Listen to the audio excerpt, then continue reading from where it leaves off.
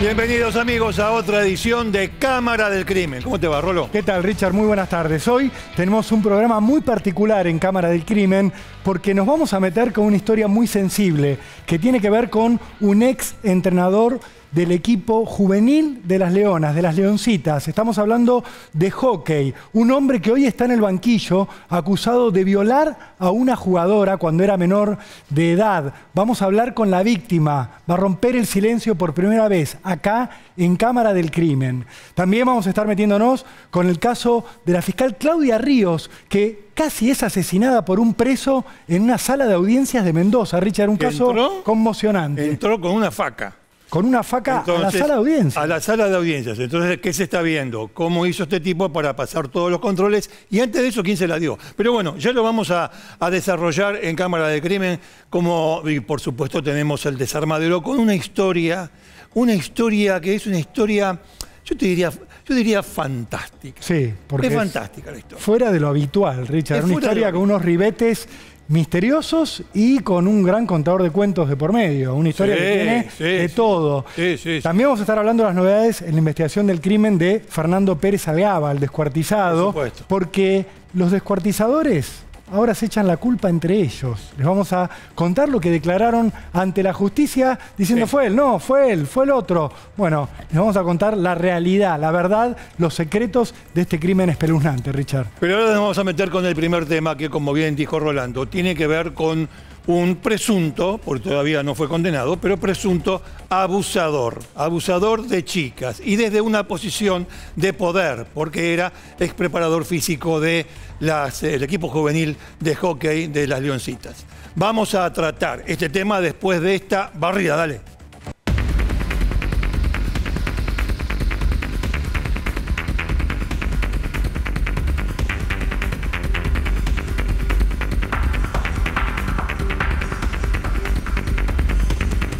Bueno, Pablo Fernández Garay Gorta, así se llama este hombre, Garay Gorta, está siendo sometido a juicio.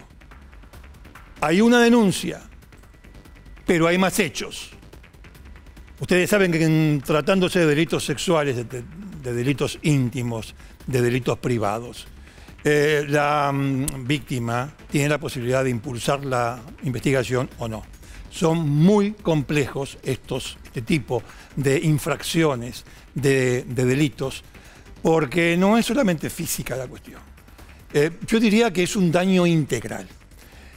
Eh, a propósito de esta introducción, les quiero decir, este hombre está siendo juzgado ahora por haber abusado de una de las integrantes de la selección eh, femenina de hockey.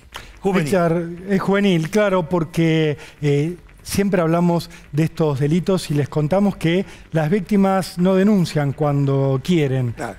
Lo hacen cuando pueden, cuando lo logran. Es muy difícil presentarse ante la justicia, vencer una serie de sensaciones tremendas que tienen que ver con la humillación, con la vergüenza, con esta relación de poder que muchos abusadores tienen sobre las víctimas. Hay que ser muy valiente para hablar y hoy va a haber una víctima recontra valiente hablando acá en Cámara del Crimen. La historia de la que estamos hablando empezó allá por 2005, por 2006, cuando Pablo Fernández Garaigorta era preparador físico de las Leoncitas, del equipo juvenil de hockey femenino, de la selección argentina juvenil, y también era entrenador del Club Atlético y Progreso de Bransen.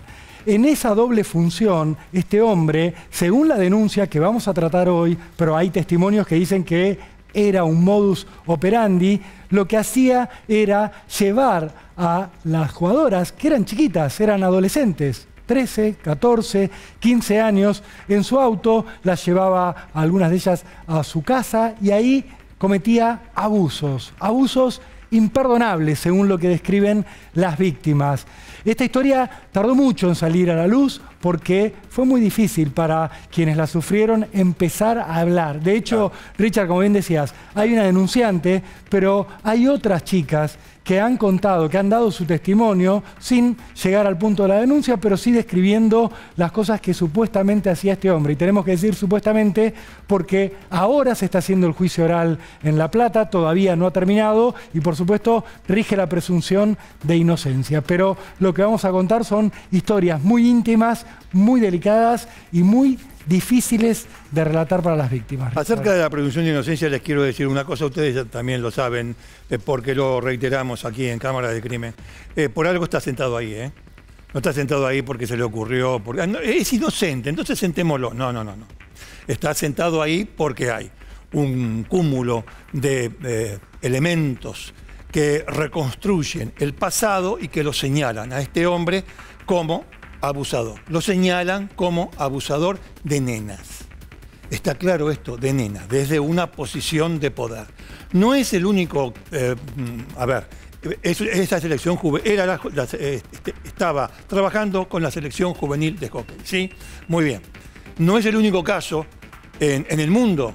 Hay en otras partes hombres dedicados a la preparación física, a la medicina, que supervisan, que llevan, eh, que atienden a atletas olímpicos, atletas en definitiva, sin necesidad de participar en una olimpiada, a atletas em, que también abusando de su posición de poder cometen abusos. En este caso particular, lo que menos esperaba, por lo menos yo, lo que menos esperaba es que en el seleccionado juvenil de hockey hubiese un personaje de estas características. Richard, los daños que producen este tipo de personajes, por supuesto, tienen que ver con la esfera íntima, con lo personal de las víctimas, pero también le generan un, un daño secundario que tiene que ver con alterar su carrera deportiva con meterse con lo que para muchos es un sueño, el objetivo que se van trazando los deportistas, en este caso y en otros que vamos a repasar, que ocurren aquí y en el mundo.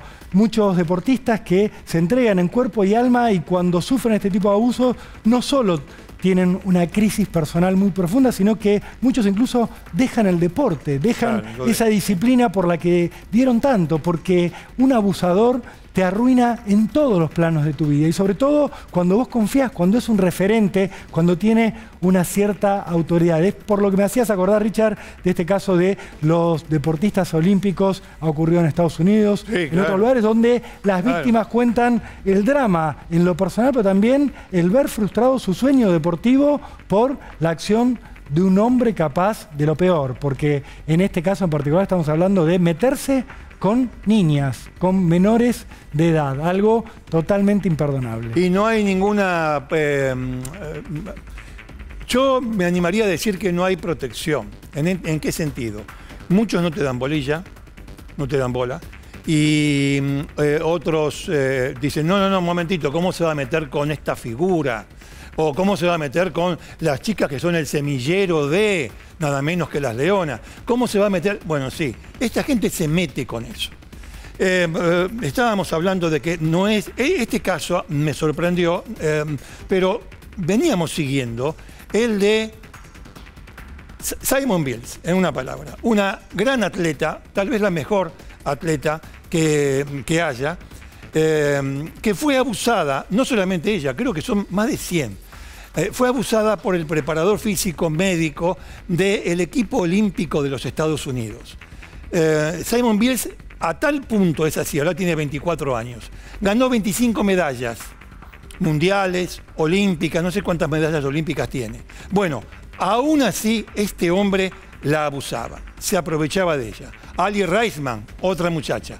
Son casos que no vienen de afuera. Ahora, nos encontramos en la preparación del programa que hay un caso acá que es este caso. Y por primera vez, por primera vez, va a hablar la denunciante, la víctima, la chica que lo señaló y que además, esto es muy importante, quiso seguir adelante. No porque le saque un plus a las que no quisieron seguir. No, no se trata de eso.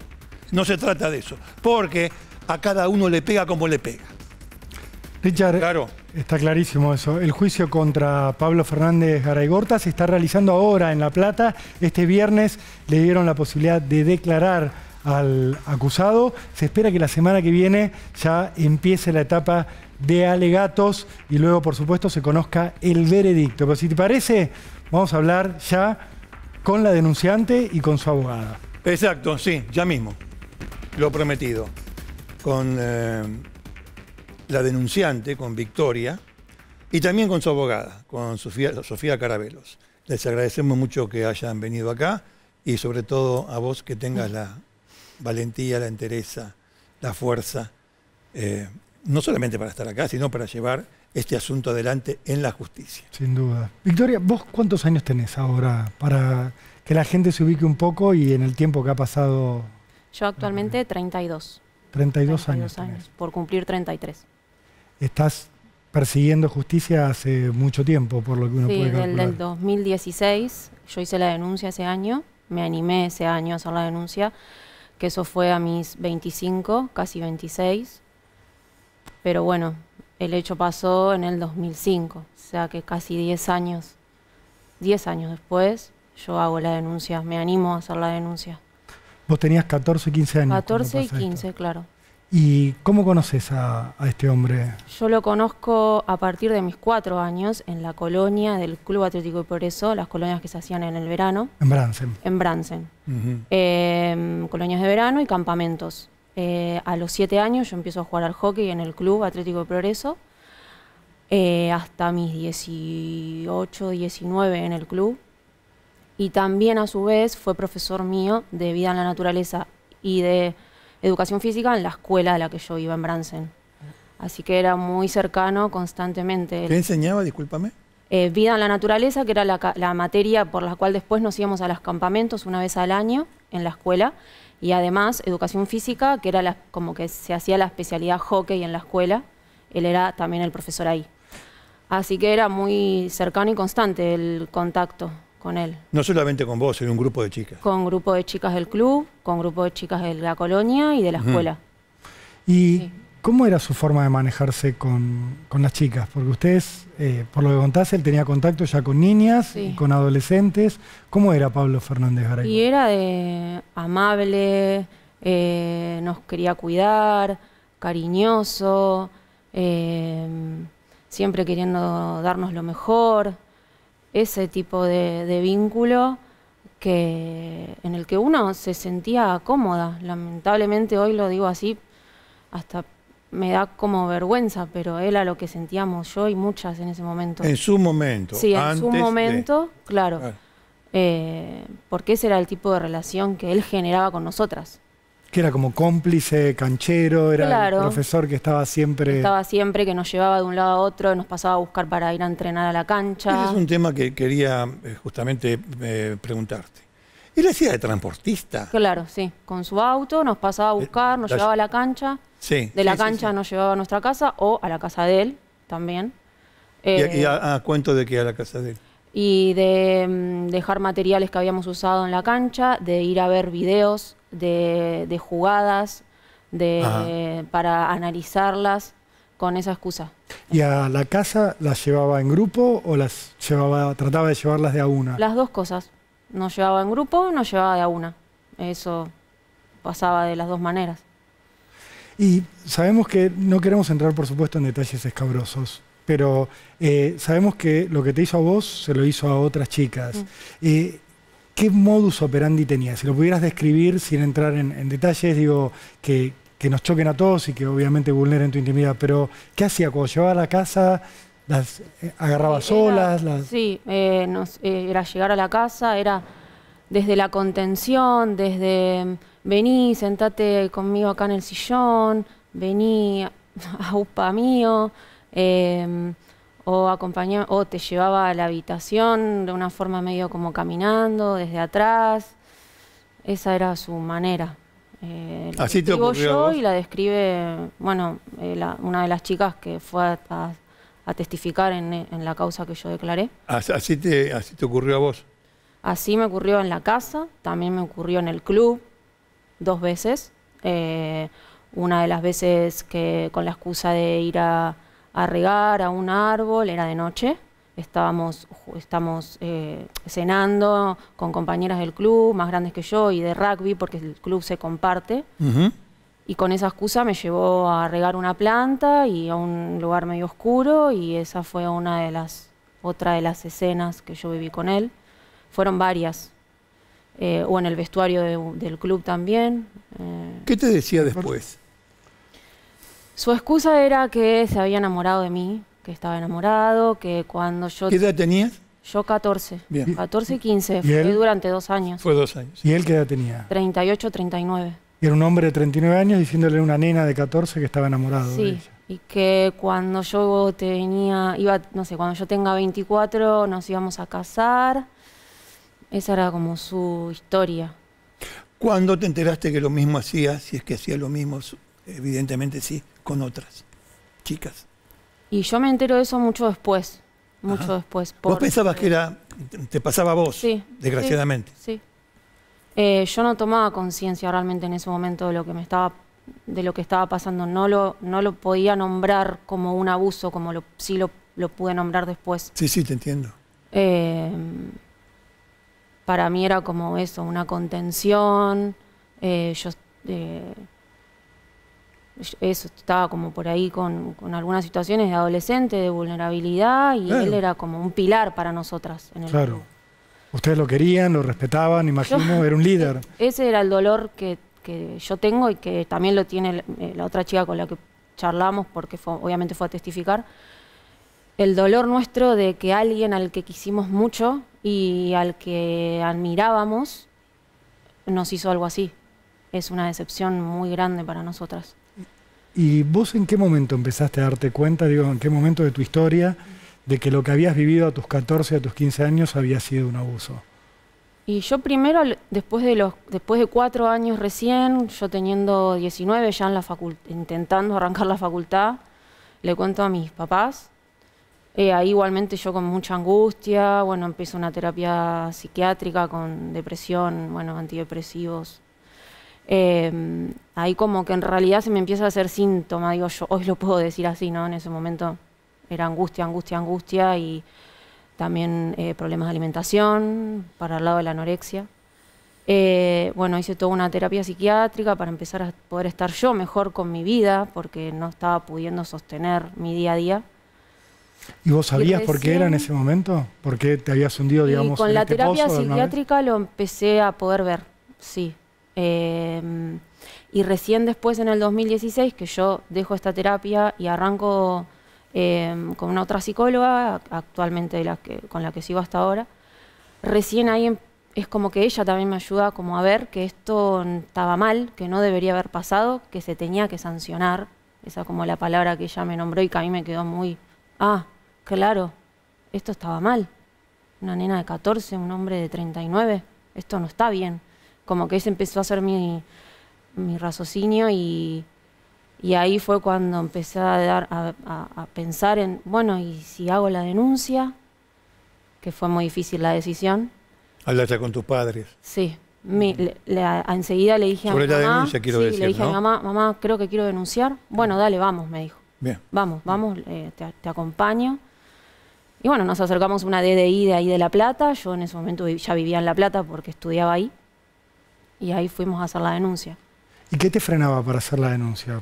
Me pongo en el lugar de otras víctimas que quizás no logran cruzar esa barrera. ¿Cuáles eran tus miedos, tus prejuicios? Dos cosas. Por un lado, el Bransen es una ciudad chica, te diría un pueblo para nosotros, y ese, él era un hombre eh, que era muy bien visto en el pueblo. Era como el que te resolvía el problema del, del hockey y de algún otro deporte en el club. En, él como que estaba muy bien visto en el pueblo. Entonces, eh, cuando eh, esto se empieza a comentar en el pueblo, típico ida y vuelta, muchas me dieron vuelta la cara, eh, te juzgan de que en realidad tal vez fue tu culpa. Entonces, tener como en contra a esa gente que muchas habían sido compañeras mías o gente conocida porque es Bransen, te frena muchísimo, porque al ser una figura tan bien vista... Cuánto prejuicio, ¿no? Sí. Cuánto prejuicio. Eh, dos cosas. Una tiene que ver con, a los 13 años, 12 años, a los 14 mismo, ¿qué aspiraciones tenías vos con el deporte? Y el hockey era todo para mí. En ese, o sea, yo le ponía mucha energía a ese deporte. Era. mm, eh, yo tenía ganas de progresar en eso. De hecho, he estado en seleccionados del- de la cuenca del Salado. O sea, mi idea era ir avanzando de a poco en lo que era el hockey como carrera. Sí. Y de hecho, lo yo dejo, dejo el club cuan- a mis 18 y yo intento ir a un club en La Plata como para decir, bueno, quiero seguir intentando con esto porque es lo que me gusta. Inevitablemente eh, uno hace la conexión, eh, este, el, el estar jugando al hockey a mí me hacía como revivir cosas de ese momento. Era inevitable la conexión, aunque obviamente no había cosas específicas del hecho del- de, las escenas, pero en sí era el hockey y el deporte y a mí lo que me pasó fue en ese ámbito. El abusador y el deporte, por supuesto, se te cruzaban. bueno, me encontré intentando en un club, en otro, en La Plata y en un momento dije, bueno, hasta acá llegué. ¿Podrías, ¿Podrías decir que se, se cortó el impulso? Sí, sí, se me cuarteó la, la- las ganas de seguir intentando en el deporte.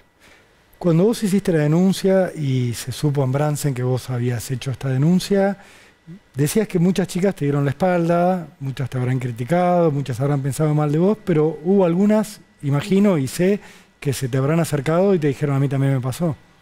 Eh, bueno, me pa- pasó con esta chica que testificó en la causa. eh, ella se entera de mi denuncia y ahí es como que reconoce que a ella le pasa lo mismo. Después de cuatro años, de ver- ella le pasó entre los 12 y 13. Un, un po- poco, poco más chica que yo. Claro, está bien. Eh, y cuando escucha lo que a mí me pasa en el seno familiar, porque la hermana es amiga mía, ahí dice, pará, porque me parece, o sea, yo viví algo igual.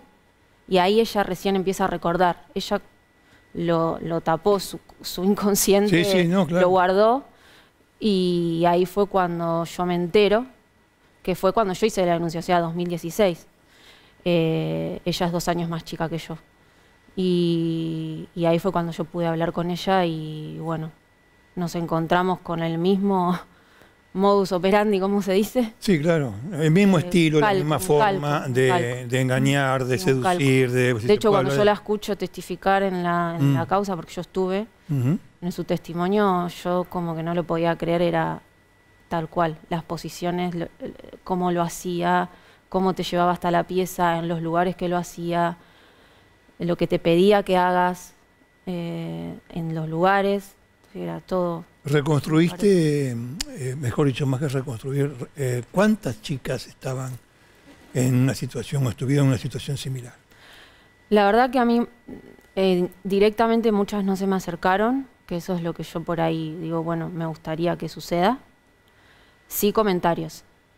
Che, yo creo que a esta chica le pasó lo mismo.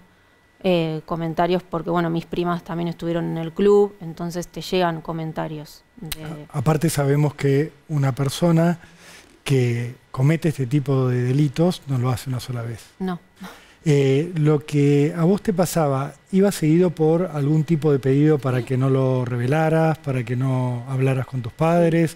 ¿Había una cuestión de Sí, pedirte un secretismo sobre lo que Sí, él de hacía? hecho, por ejemplo, me pedía que me pidió que su celular lo guarde con otro nombre en mi teléfono.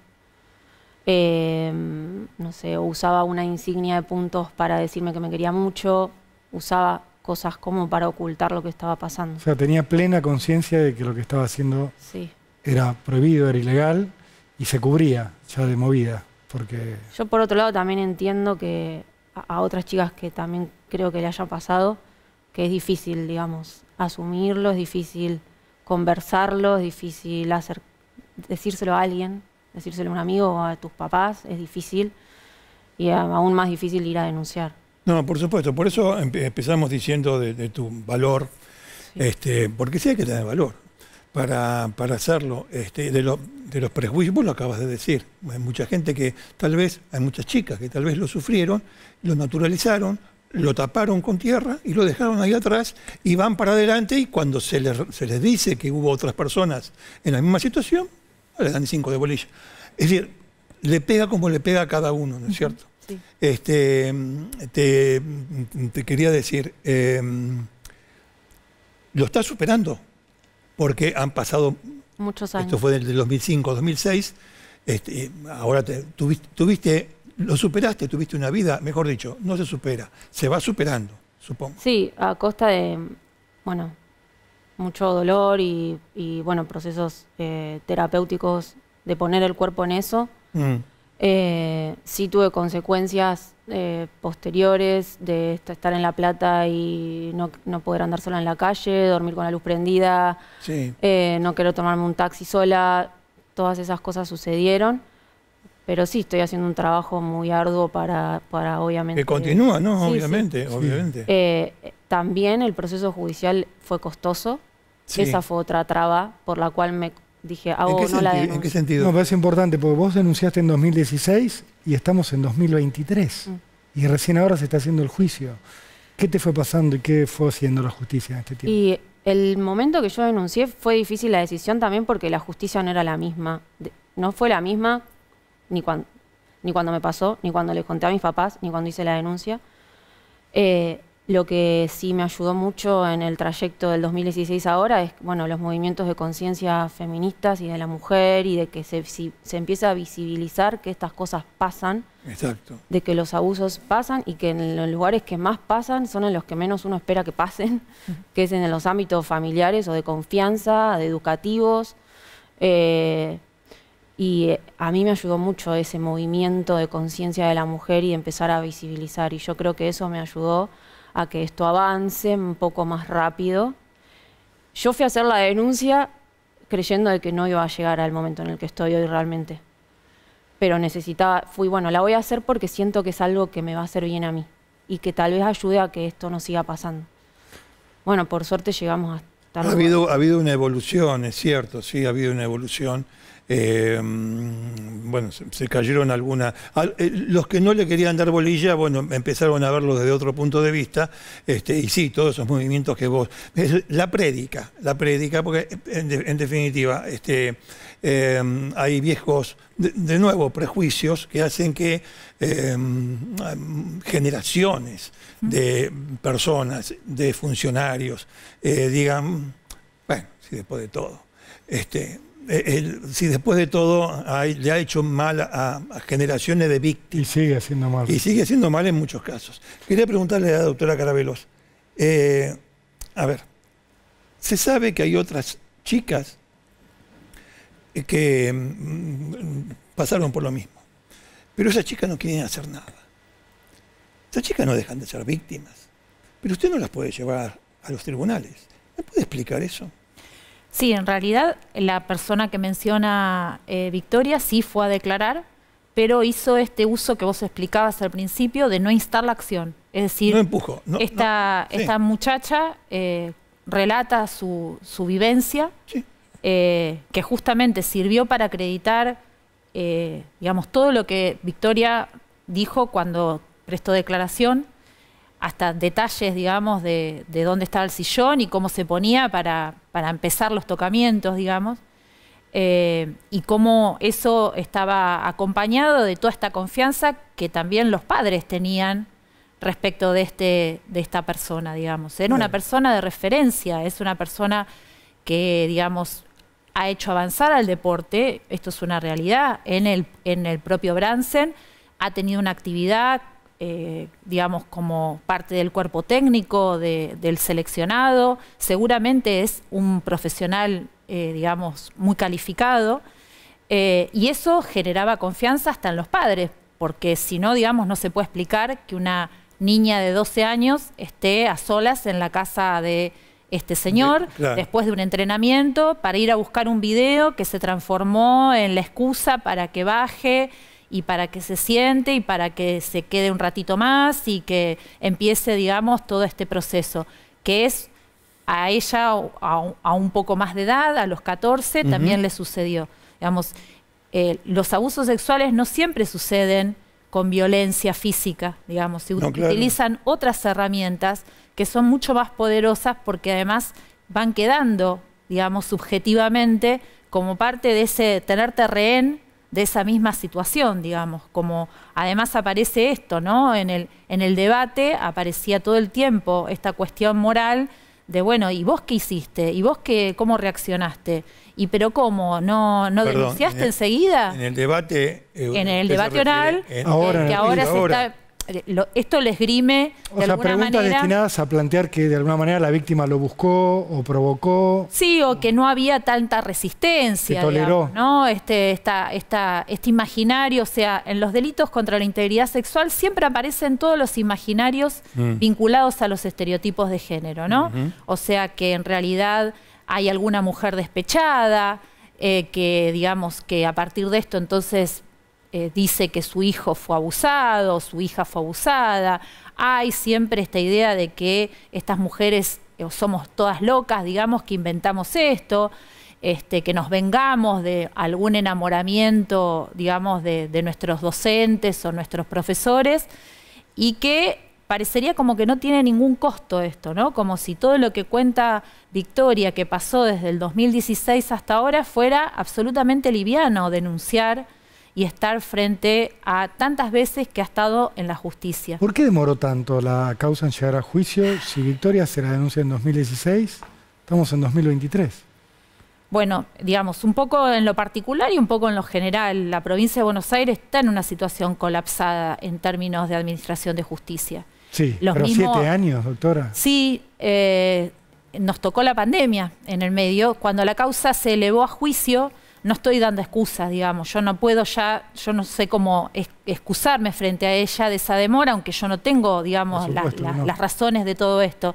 Pero realmente, justo cuando se elevó la causa a juicio, es decir, cuando ya estábamos dispuestos a, ya se teníamos integrado un tribunal, llegó la pandemia y obviamente el imputado se niega a hacer un juicio a distancia, digamos, ¿no? Entonces, las audiencias tuvieron que esperar a la presencialidad para poder fijarse. Sí, igual fue hace dos años que volvimos a la presencialidad. Sí. Le, eh, le quería preguntar también, doctora, ¿qué declaró eh, este hombre? ¿Qué, ¿Qué estrategia de defensa tiene? ¿Qué ha dicho? Eh, él declaró en varias oportunidades, en dos oportunidades en la investigación y ayer, eh, hoy, en la audiencia de, de juicio. Ayer. Dice que, que, por supuesto que esto es una, esto es una mentira, es una confabulación, eh, digamos, de la madre de ella, que tuvo un vínculo, él dice, amoroso con él, y que entonces se está vengando, ella también, que efectivamente habría algo del orden de- del, del desorden mental, digamos, para generar esto de un complot contra él, digamos. En una palabra, a, la- a ella la trató de loca y a la madre de infiel. Sí, sí. Sí, son. Yo Perdón, creo ¿no? que Pero utiliza, presuntamente es un hijo de puta. Presuntamente, porque Sí. no, no- todavía no hay No, todavía no está yo, presuntamente, digamos, lo si que digo, así- lo que digo es que creo que eh, esgrime estos argumentos porque sabe que todavía hay un terreno social sobre el cual se pueden seguir argumentando este tipo de cosas. ¿Sabe qué me Ninguna duda que avanzamos Sí, sí, sí, enormemente. sí. No, me, hizo acordar inmediatamente, porque cuando, cuando ella lo contó y cuando este, también eh, hacía referencia a usted de eh, la mm, fama que el tipo tiene, fama en sentido amplio, ¿no? Eh, en la comunidad, la repercusión que su imagen tiene en la comunidad, me hizo acordar, ¿te del de Santa Fe? El ciudadano ilustre. Sí, no, de Paraná. El de Paraná, Paraná. Claro. Estamos hablando de el, Entre el Ríos. ciudadano Sí. ilustre. Y El también hombre me- más respetado El de- hombre más respetado de, de la de- comunidad. Y al final de cuentas era un violador, fue condenado y qué sé yo. Sí, ha habido otros casos, Richard. Ha habido y otros Digo, casos también. Con el padre Siempre- Julio César Grassi también ha pasado eso. Era Bueno, respetado, digo, sí, los sí. programas de Es televisión. que Incluso eso, en- era un digamos, abusador. eso es lo que no está puesto en duda. Nosotros en ningún momento eh, planteamos algo en contra de eso porque era ir contra la realidad, digamos. Era un tipo que generaba confianza. Estamos hablando de que esta, ella está diciendo que desde los cuatro años estaba en la colonia a cargo de él. Eh, y lo, lo han dicho todos los testigos. Pero sí. Absoluta confianza de los padres Sí, sí. que las llevaban a, la- a las nenas, las traía, las llevaba hasta, hasta los pueblos cercanos. Es el prefacio, o sea, es el campo eh, que el tipo tenía y, y en el cual eh, eh, se aprovechaba y cometía. Porque, en definitiva, ¿de qué se tiene que defender este hombre? De hechos. de hechos, De de hechos. hechos. No, no, no de. A nadie se está poniendo en duda su fama. En todo caso, su fama se puede ver manchada por esta circunstancia. Esa es otra cuestión. No tiene nada que ver con lo jurídico. Lo jurídico es esto. Eh, acá, acá hay una, una, denunciante, hay pruebas este, en contra de este tipo. ¿De qué te tienes que defenderte? De esto. no de, ah, no, pero este. Tuvo un romance el despecho. No, querido. Ahora, yo para que eh, la gente tenga un poco conciencia de lo que es un proceso penal por abuso sexual. ¿Cuántas veces, Victoria, vos tuviste que contar lo que te hizo este hombre de 2016 acá? Y, obviamente saco todas las veces que tuviste que hablar con amigas, con tus padres, con familiares, con terapeutas, pero en sede judicial y en sede policial, ¿cuántas veces tuviste que relatar lo mismo que para vos es terrible cada vez que hablas de esto, me imagino? Eh, bueno, el día que hice la denuncia, obviamente, después tuve que ir una vez más también en, junto con los abogados de él, que eso fue muy duro porque te indagaban, indagaban con preguntas. Eh, y una vez más también. Después, las pericias. las pericias psicológicas que tuve que ir a hacer a, la, asesoría pericial de La Plata. Tuviste que eh, someterte a varias entrevistas, imagino ahí. Sí. Donde volvés a contar otra vez lo que pasó. Es como un nunca. Y en el debate ahora. en el debate ahora, bueno, obviamente las veces que tuve que relatarlo para, para las abogadas, es haber puesto el cuerpo mucho. Eh, es muy costoso. No me arrepiento de haberla hecho, pero no niego que es costoso eh, a nivel mental, emocional y físico. Es muy costoso. Eh, ¿Qué perdón, ¿qué, le dirías a las otras víctimas que seguramente hay de este, de este hombre? Y a mí me gustaría mucho que, em, la, empatía, que suceda la empatía, la empatía de la mujer, la empatía de, la, de la, chica que también jugó y fue eh, entrenada por él, de que se acerque, yo siempre voy a estar abierta a escuchar y, aconsejar desde mi lugar y desde mi experiencia. No voy a negar lo que dije antes, ¿no? que es costoso el proceso judicial, pero yo siento que vale, que vale. No, está muy bien. Doctora, le quería decir, Pablo Fernández Garay Gorta, ¿está preso? Está detenido, efectivamente, desde el 2018 fue primero, bueno, estuvo en un lugar de alojamiento común y después fue, eh, se pidió una domiciliaria. Nosotros en varias oportunidades propusimos que se lo escarcele, digamos, porque en realidad si tenía el beneficio de la domiciliaria, quizás era mejor que estuviera escarcelado y no, digamos, cumpliendo pena, porque todo el tiempo en domiciliaria, efectivamente es parte de, una pena. Sí. Eh, y bueno, finalmente no, y obtuvo, eh, sí, una, una, domiciliaria con ciertas comodidades que no acceden todas las personas que están privadas de la libertad en un, en un este, barrio privado. Hoy él aclaró que no era un barrio privado, que era un barrio de quintas, digamos, en las afueras de Bransen. Eh, y bueno, dedicado a una actividad de la carpintería, este, eh, le han ofrecido desde, desde las instancias nacionales del deporte algún eh, trabajo que por suerte... Eh, por suerte, digamos, los jueces entendieron que no era prudente que estuvieran vinculado a actividad deportiva. pero bueno, este, este, usted sabe que los abogados nos interrumpimos y todo eso. Entonces le quiero decir una cosa. ¿Tuvieron que intervenir los jueces? Sí. Primero, ¿dónde le estaban haciendo trabajo? Claro. Él estaba, él seguía siendo parte del cuerpo técnico, entiendo por, yo no soy, no vengo del mundo del deporte, él era cámara, es decir, que es el que graba las jugadas y después genera análisis, o sea, es, un, es una persona como muy precisa, digamos. El videoanalista, digamos, sería del, eh, exactamente. del equipo juvenil de hockey de la Argentina, de la selección. Exactamente, sí, sí, del, eh, y de, de hecho, ¿eh? Y de los leones. Y de los leones. Y los leones también. Ah, de los leones también. Y a un preso denunciado por abuso sexual de una menor le ofrecieron más trabajo desde la, la Federación de Hockey. Exactamente. La Federación Argentina de Hockey. Exactamente. Eh, hubo una intervención muy prudente, obviamente, no había que ni decirlo.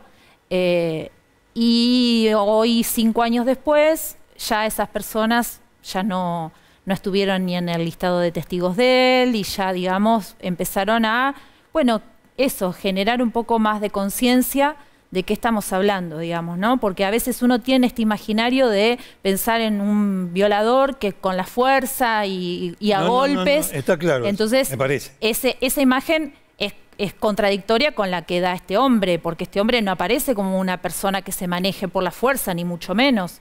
Entonces, bueno, quizás empezar a entender que estas personalidades también, digamos, generan estas, estas situaciones tan delictivas y tan delicadas en función de la edad de las víctimas, ¿no? No, claro, claro. Yo, digamos, ella no lo va a decir, pero yo de lo que he escuchado en, el, en, los, en los relatos de sus propias compañeras es, ella la rompía. La rompía jugando al hockey. No sé si hubiera sido una leona, no sé, digamos. Quizás sí. Y quizás nos, nos perdimos de otra, de otra gran campeona, digamos, ¿no? Eh, pero todo esto, y ella, digamos, las primeras eh, encuentros que nosotros teníamos, lo relataba con mucho pesar. O sea, efectivamente, esto significó el quiebre de su carrera profesional, deportiva, y para nosotros, digamos, también hemos perdido ahí algo Sí, de, de esto como comunidad, de haber quebrado esa, esa juventud también. Bueno, les agradecemos mucho, a las dos te agradecemos. Victoria, muchísimo haber Muy valiente, Victoria. Lo mismo a la, la doctora, este, presuntamente hijo de puta. Bueno, gracias, gracias. Richard, vamos a cambiar de tema Vamos ahora, a cambiar de porque tema. tenemos que hablar del intento de asesinato de una fiscal en la sala de audiencias. Sí, vamos a una barrida.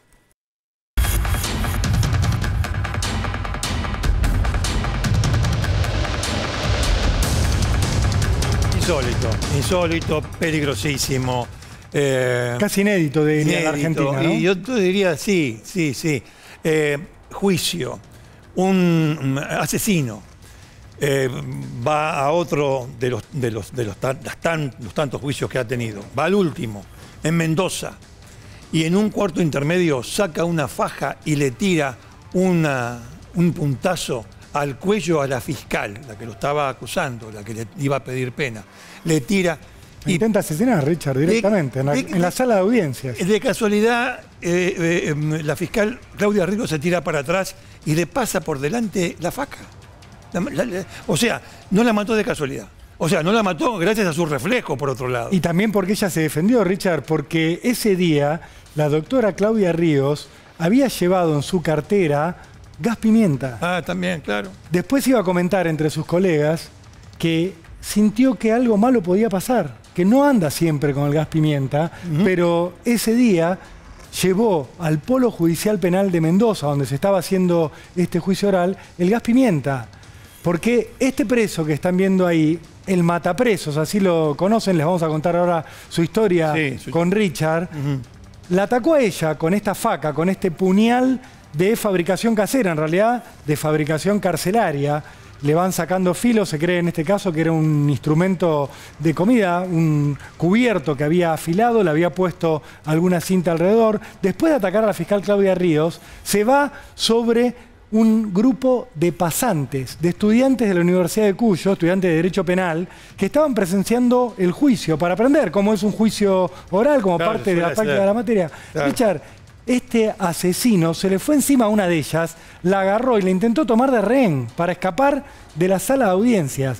Todo esto demoraron los tres guardias penitenciarios que había en la sala de audiencias y el policía que estaba a cargo de la custodia del tribunal en reaccionar y en tirarse encima de este delincuente para poder dominarlo. Pero cometió un intento de asesinato y casi ataca a una segunda persona, a una joven, la trata de tomar de rehén para llevársela para escapar. Todo eso, Richard, en una sala de audiencias durante un juicio también por un intento de asesinato. Lleva mucho tiempo hacer todo eso. Es decir, eh, una acción puede ser rápida, pero una sucesión de acciones como esta lleva tiempo. ¿Y los guardias dónde estaban? Y otra cosa, ¿dónde sacó la faja, la faca?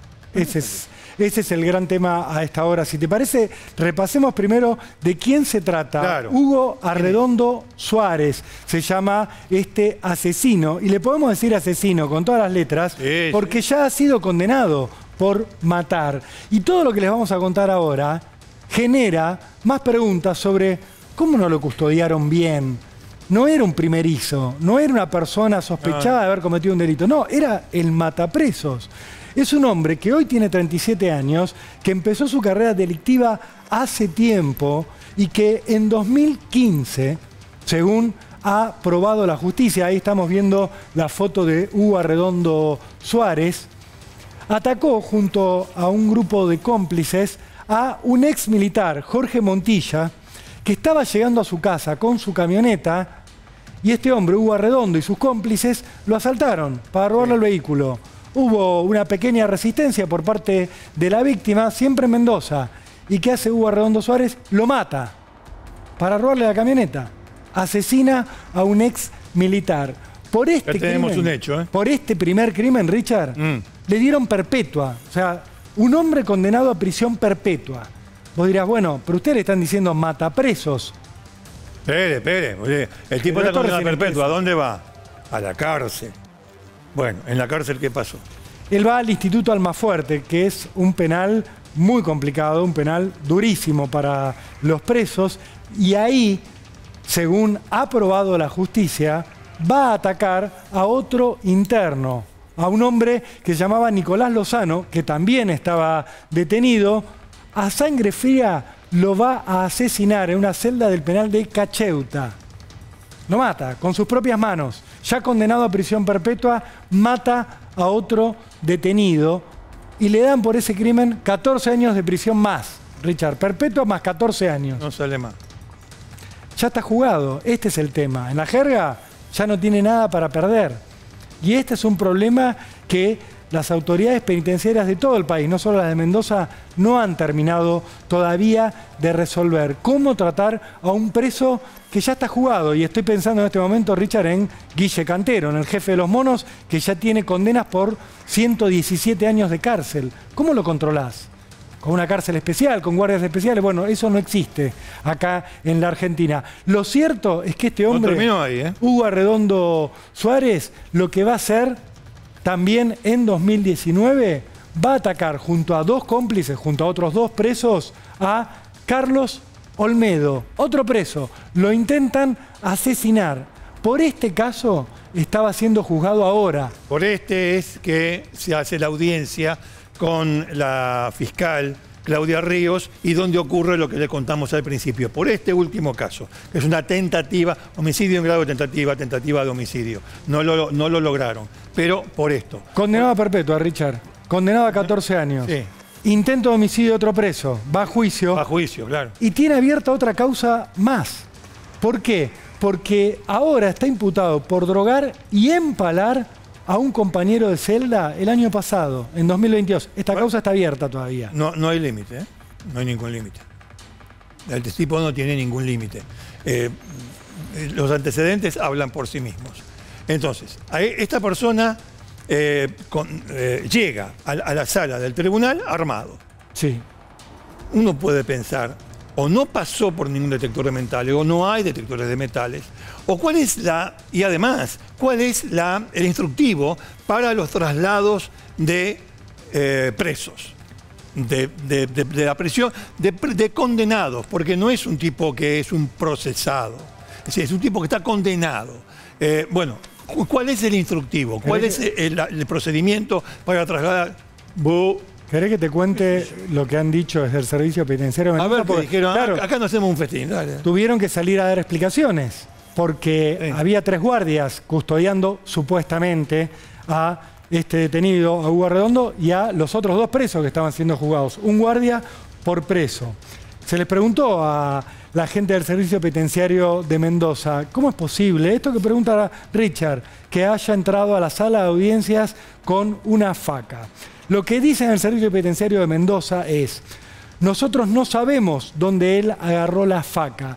La hipótesis que tenemos es que él llevaba la faca en algún orificio de su cuerpo, que la faca estaba envuelta con una tela para que el detector de metales no la detectara, valga la redundancia, cosa que la verdad, Richard, no había escuchado nunca en mi Yo- vida, que con un poco de tela el detector de metal no descubre el metal. No, Esto sabía es- de papillón, pero así con un cuchillo adentro, la verdad que yo no sabía.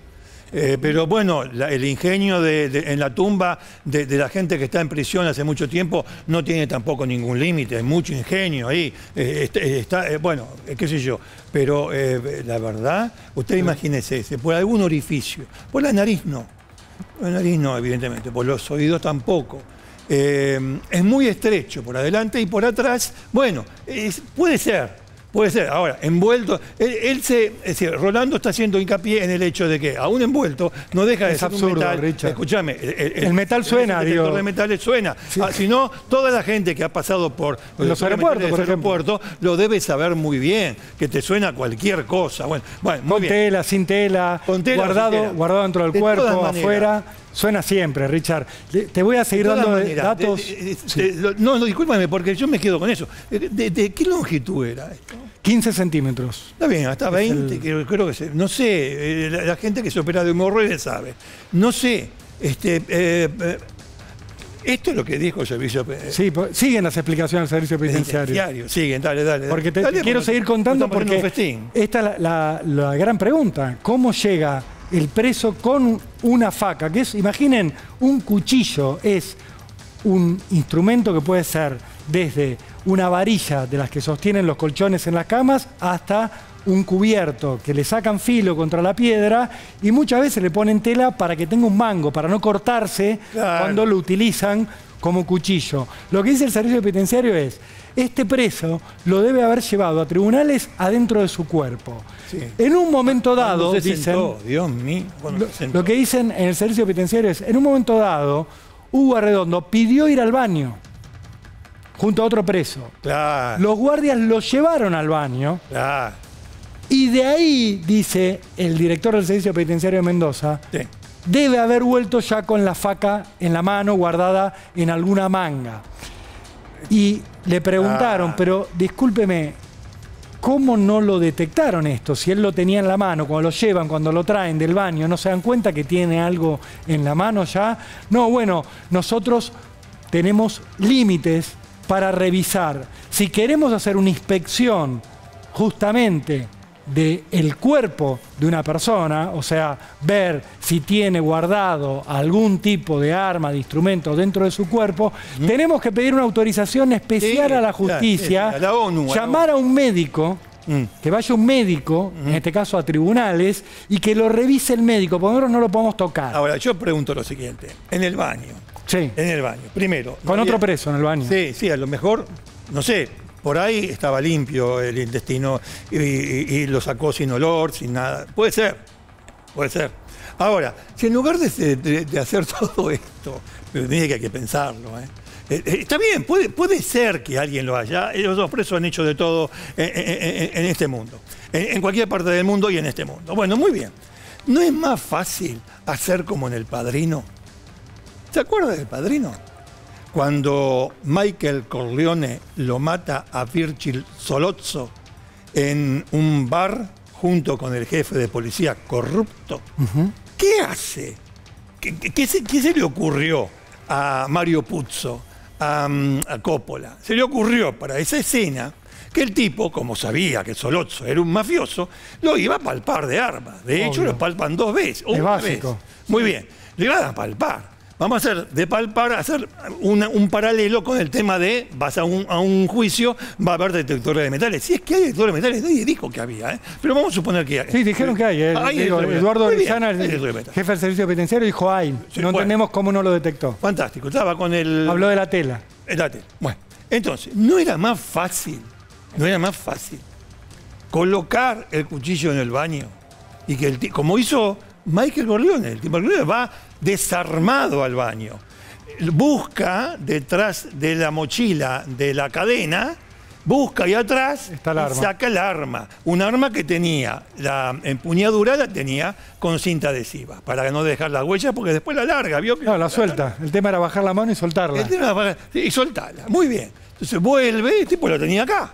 Entonces el otro Solozzo le hablaba, le hablaba, le hablaba, le hablaba, y este ya no pensaba nada, Michael Corleone no pensaba nada. ¿Le estoy contando la película? Sí, le estoy contando la película, porque esto de película, lo que hicieron me- la, la explicación del servicio penitenciario mendocino, es de ciencia ficción, es de, es de Sí. cine, de cine. Bueno, Richard, mira, saca, pum, tira, pum, tira el otro. Bueno, este es lo mismo. Eh, eh, salió. ¿No era más fácil que estuviese ahí? Oh, te en, voy a- vez de, en vez de toda, toda esta cosa. Le digo, Richard, perdóname. que los pero- presos por dos mangos, eh, eh, lo- no, dijo yo sé. No, pero digo, no, yo no, sé todo. vos, vos pensás No, en lo el baño, lo pero sé. yo te digo algo más simple. Dale, dale. Es mucho más directo pensar, y esto es lo que debería decir Eduardo Orellana, el director del Servicio Penitenciario de Mendoza, que la faca se la dio un guardia a Bueno, cambio de plata al preso. Tomá, acá Ey, está, acá. mirá, Ahí. listo, entrá y entro a la sala de audiencia con la faca. Porque lo que dice Orellana no resiste ningún análisis. Dice, uno de los custodios relató luego en el marco de la investigación que dentro del baño el preso se bajó los pantalones, por lo que una de las sospechas es que allí pudo haber extraído de su cuerpo el arma blanca. O sea, le tenemos que creer al señor Orellana, quien no conozco, pero es el jefe del Servicio Penitenciario de Mendoza, que el preso estuvo toda la mañana con la faca dentro de su cuerpo, que no se lastimó teniéndola dentro del cuerpo, No, cuando se sentó tampoco, nada, nada. que fue al baño Siéntese, señor. No, se la sacó sin problemas, sin sangrar, sin ningún tipo de dificultad, y volvió a la sala de audiencia con la faca, y el guardia nunca se dio cuenta, nunca lo esposó en camino del baño a la sala de audiencia. ¿Qué es lo que debe ocurrir? Porque ustedes saben, adentro de la sala de audiencias, los presos están sin las esposas. Esto por un uso y costumbre. Pero cuando lo sacan, los tienen que sacar esposados. Cuando llega al baño, tiene que ir esposado.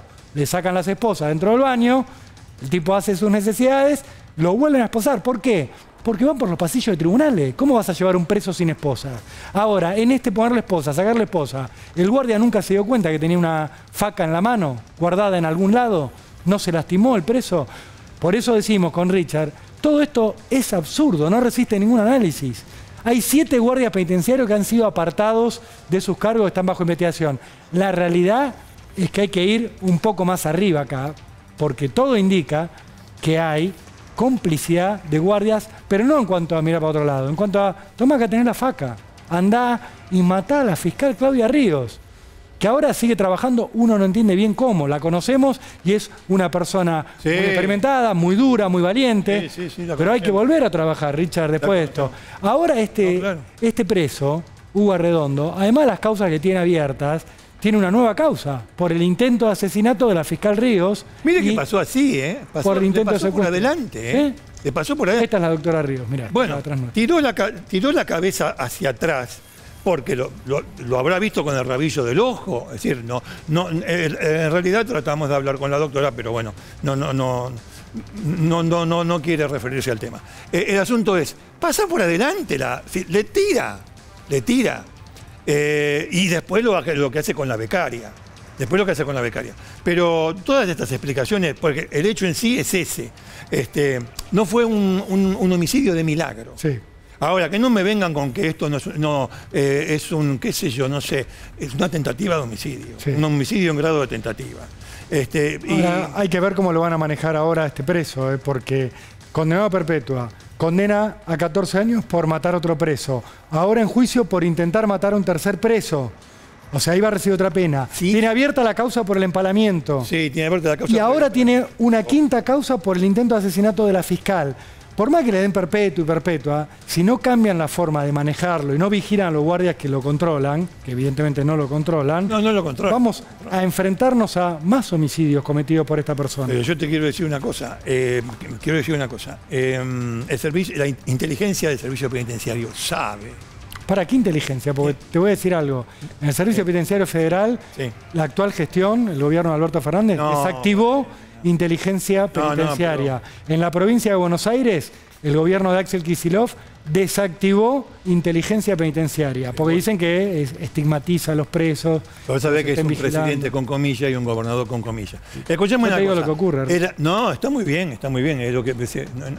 Eh, mm, eh, eh, el tema de, mm, de, la, de, la inteligencia del servicio penitenciario. Es cierto, ¿no? Hay pero en, en- en- en situaciones normales, no hay una situación normal hace muchos años eh, en este país, una situación normal, ¿sabes quién es quién?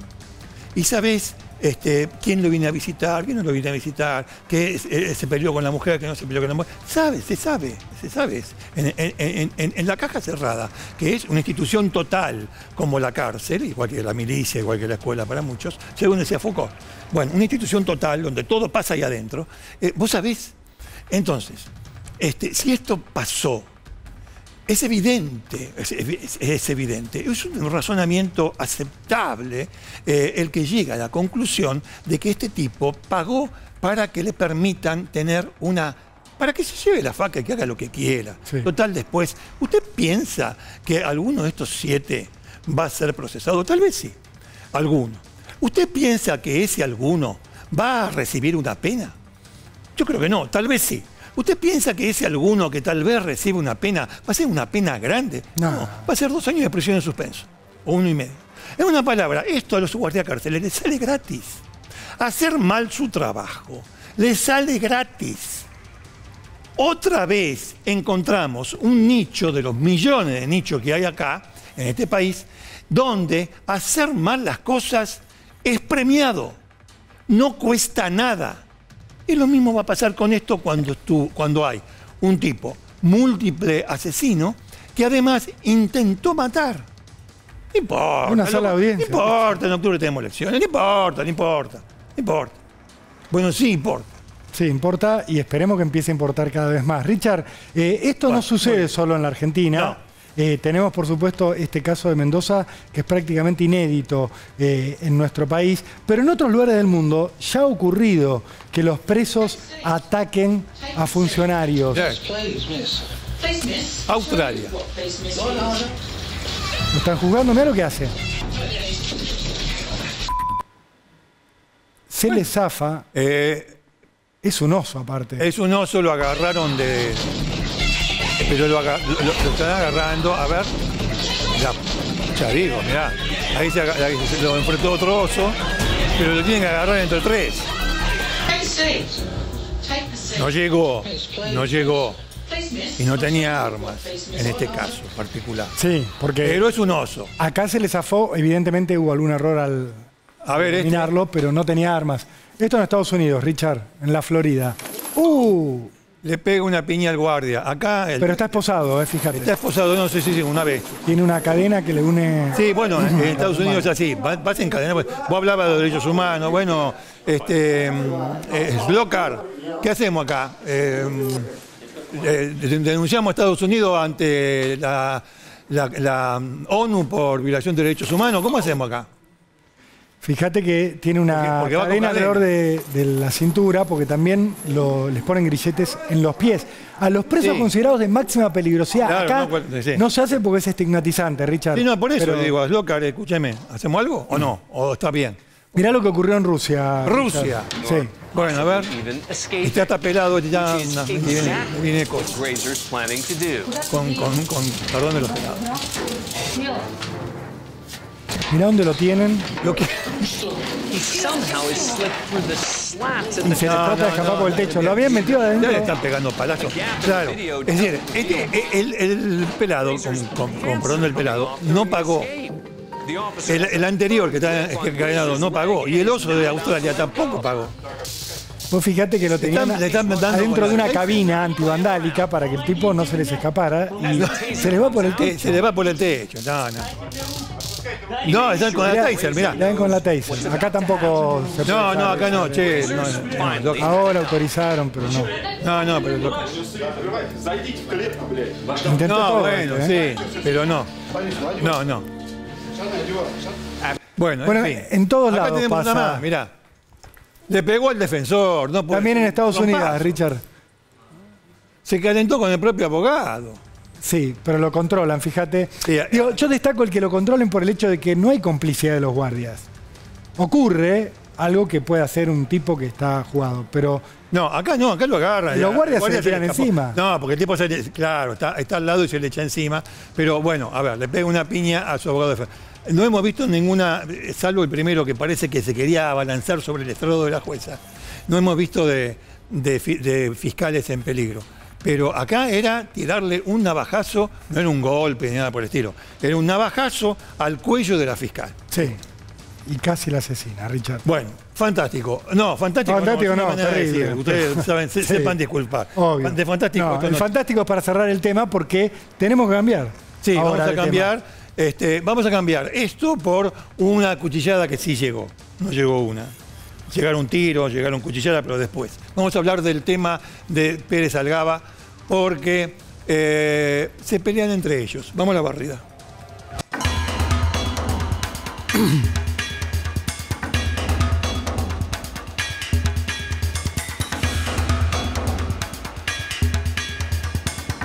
Bueno, muy bien. Vos Dale. sabés que hay siete detenidos por el crimen de Lechuga. Fernando Lechuga. Pérez Algaba, este hombre emprendedor, por llamarlo de alguna manera, Sí. que, según determinó la justicia, fue asesinado en un campo de General Rodríguez, a donde fue a cobrar, porque a él le debían plata. ¿Quiénes? Según la investigación, dos personas, Maximiliano Pilepich y Nahuel Vargas.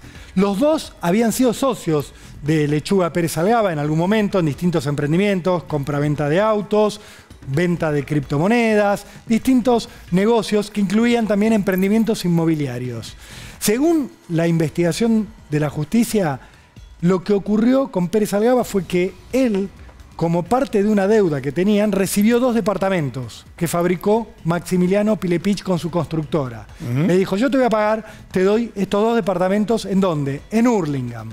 Cuando Pérez Algaba se quiso hacer de las escrituras de esos departamentos, se encontró con que era todo cartón pintado. No estaban hechos todavía los departamentos, el edificio estaba medio a hacer. Lechuga empezó a reclamarle a Pilepich y a su socio, a Nahuel Vargas, que le dieran algo. Dame, bueno, dame plata para pagarme por este departamento que me diste en parte de pago. Era una serie de tramoyas de ida y vuelta de Sí, deudas. de- Pero en definitiva, lo que se llega a establecer es que le debían aproximadamente a Pérez Algaba unos 90 mil dólares y que había una promesa de Pilepiche de Vargas de pagarle. ¿Qué pasaba? Pérez Algaba se había ido al exterior porque él debía un montón de dinero. Se había ido a Miami, después había ido a España y después había regresado a la Argentina. ¿Cuándo? El 13 de julio de este año. ¿A qué volvió? Se cree. Volvió a que le paguen. Se cree que Pilepich y Vargas le dijeron, vení, vení, que te vamos a pagar. Una Sí, vez que sí, estés acá, 90 lucas te devolvemos la plata. 90 lucas verdes. Sabemos cómo terminó la historia. Que Pérez Algaba fue una reunión en un campo de General Rodríguez con Pilepich y con Vargas y desapareció. Y lo encontraron cortado en pedazos, por eso hablamos del descuartizado, eh, a partir del 23 de julio, cinco días después, en el Arroyo del Rey, en la zona de Ingeniero Budge, en Lomas de Zamora. La cuestión acá para la justicia es establecer, bueno, quiénes lo asesinaron y cómo. Nahuel Vargas y Pilepich estuvieron en esa última reunión en General Rodríguez. Ese es Nahuel Vargas, Richard, el que está en pantalla. Están los dos, y mira. al lado está Maximiliano Pilepich. Pilepich es el del tatuaje, Vargas Sí, es el que está con la policía. El primero en declarar esta causa, como acusado, ya detenido, fue Vargas. ¿Te Sí, acordás? Sí. Vargas dijo, yo estuve en la reunión de General Rodríguez, aquel 18 de julio. Primera cosa, se ubica en el lugar del crimen. Porque coartada, ustedes saben que coartada, ¿qué significa coartada? Es decir, yo no estuve, no estuve en el lugar. Es, coartada es estar en otro lugar. Yo tengo una coartada, estaba en otro lugar. Bueno, después tienen que probarla, no la coartada. Pero eh, el tipo no usa coartada. Yo estaba ahí. Sí. Da un paso adelante. Yo estaba ahí eh, eh, cuando mataron a, a Coso, a, a, la- a Lechuga. Primera cosa, Él dice, yo estuve. yo estuve. Pero aclara, en ese lugar le dimos la plata, le dio Pilepich la plata a Pérez Algaba, y después de que le pagamos, Pérez Algaba se quedó un rato más y ocurrió una cuestión muy particular. Le dijo él a Pilepich que había agregado a su hija, a la hija de Pilepich, en Instagram. Pilepich se puso como loco. Yo me fui, dice Nahuel Vargas, y Pilepich, mientras yo estaba fuera de la casa donde nos habíamos reunido, Pilepich le disparó con dos armas, Ah, por sí. la espalda, dos tiros, y lo mató. Yo no tuve nada que ver. Le echa la culpa a Pilepich. Vargas estaba, pero él no, no, no disparó, no mató, no dijo que quería matar tampoco, estaba ahí. Pero se ubica en esta escena. Muy bien. ¿Qué ocurrió ahora? Declaró Pilepich. Y ahora vamos a ir comparando eh, dato por dato qué dijo cada uno. Pero para introducir este tema, Pilepich hizo lo mismo que Vargas. Yo estuve ahí el 18 de julio en General Rodríguez. A la escena del crimen. Le devolvimos plata a Pérez Algaba. Pero en un momento yo me fui de la casa donde estábamos reunidos y se quedaron solos Pérez Algaba y Nahuel Vargas. Al revés. Yo estaba lejos y escuché dos disparos. Y cuando volví, me encontré a Nahuel Vargas con un arma. Y me dijo, me tenía cansado Pérez Algaba. ¿Por qué? Porque me contó que estaba acostándose con mi exnovia. Dice Pilepich que le contó Vargas. Era una novia que Vargas tenía hacía tiempo, con la cual incluso había intentado un tratamiento de fertilización asistida para tener hijos, una mujer que quería mucho, después se distanciaron y Lechuga le dijo a Vargas, yo ahora me estoy acostando con ella. Y por eso Vargas lo mató a Pérez Algaba. Todo por problemas de eh, eh, personales, o sea, eh, sexuales, o porque uno dice, no, metió a mi hija en el Instagram, y el otro dice, no, me dijo que se acuesta con mi exnovia. Eh, eh, nada que tenga que ver con el tema de la plata o no la plata. Por otra parte, dice que le pagaron la plata, ¿dónde está esa plata? Eh. Bueno, además hay otra cosa. Ustedes saben que el lugar donde eh, ocurrió todo esto no existe más. No existe más, lo tiraron abajo. Hay una construcción muy rudimentaria. Pero volvamos a lo anterior. Igual, digo, Sí. me, me quiero detener en eso porque Sí, me sí. parece uno de los detalles más absurdos que tiene toda esta versión que han dado los acusados. Ellos se encuentran en este campo de General Rodríguez, que, donde se estaba construyendo un barrio privado. En ese lugar había una quinta antigua que era parte de los terrenos que habían comprado para esta construcción. Los dos acusados, Vargas y Pilepich, dicen, Pérez Algaba en un momento empezó a cambiar las lamparitas Ah, sí, la de ese lamparita, lugar. cuando No había luz y se venía la Los dos dicen lo mismo. Se puso a cambiar la lamparita, yo me fui, dice Pilepich, dice Vargas, y el otro, Vargas o Pilepich, lo matan mientras estaba cambiando la lamparita.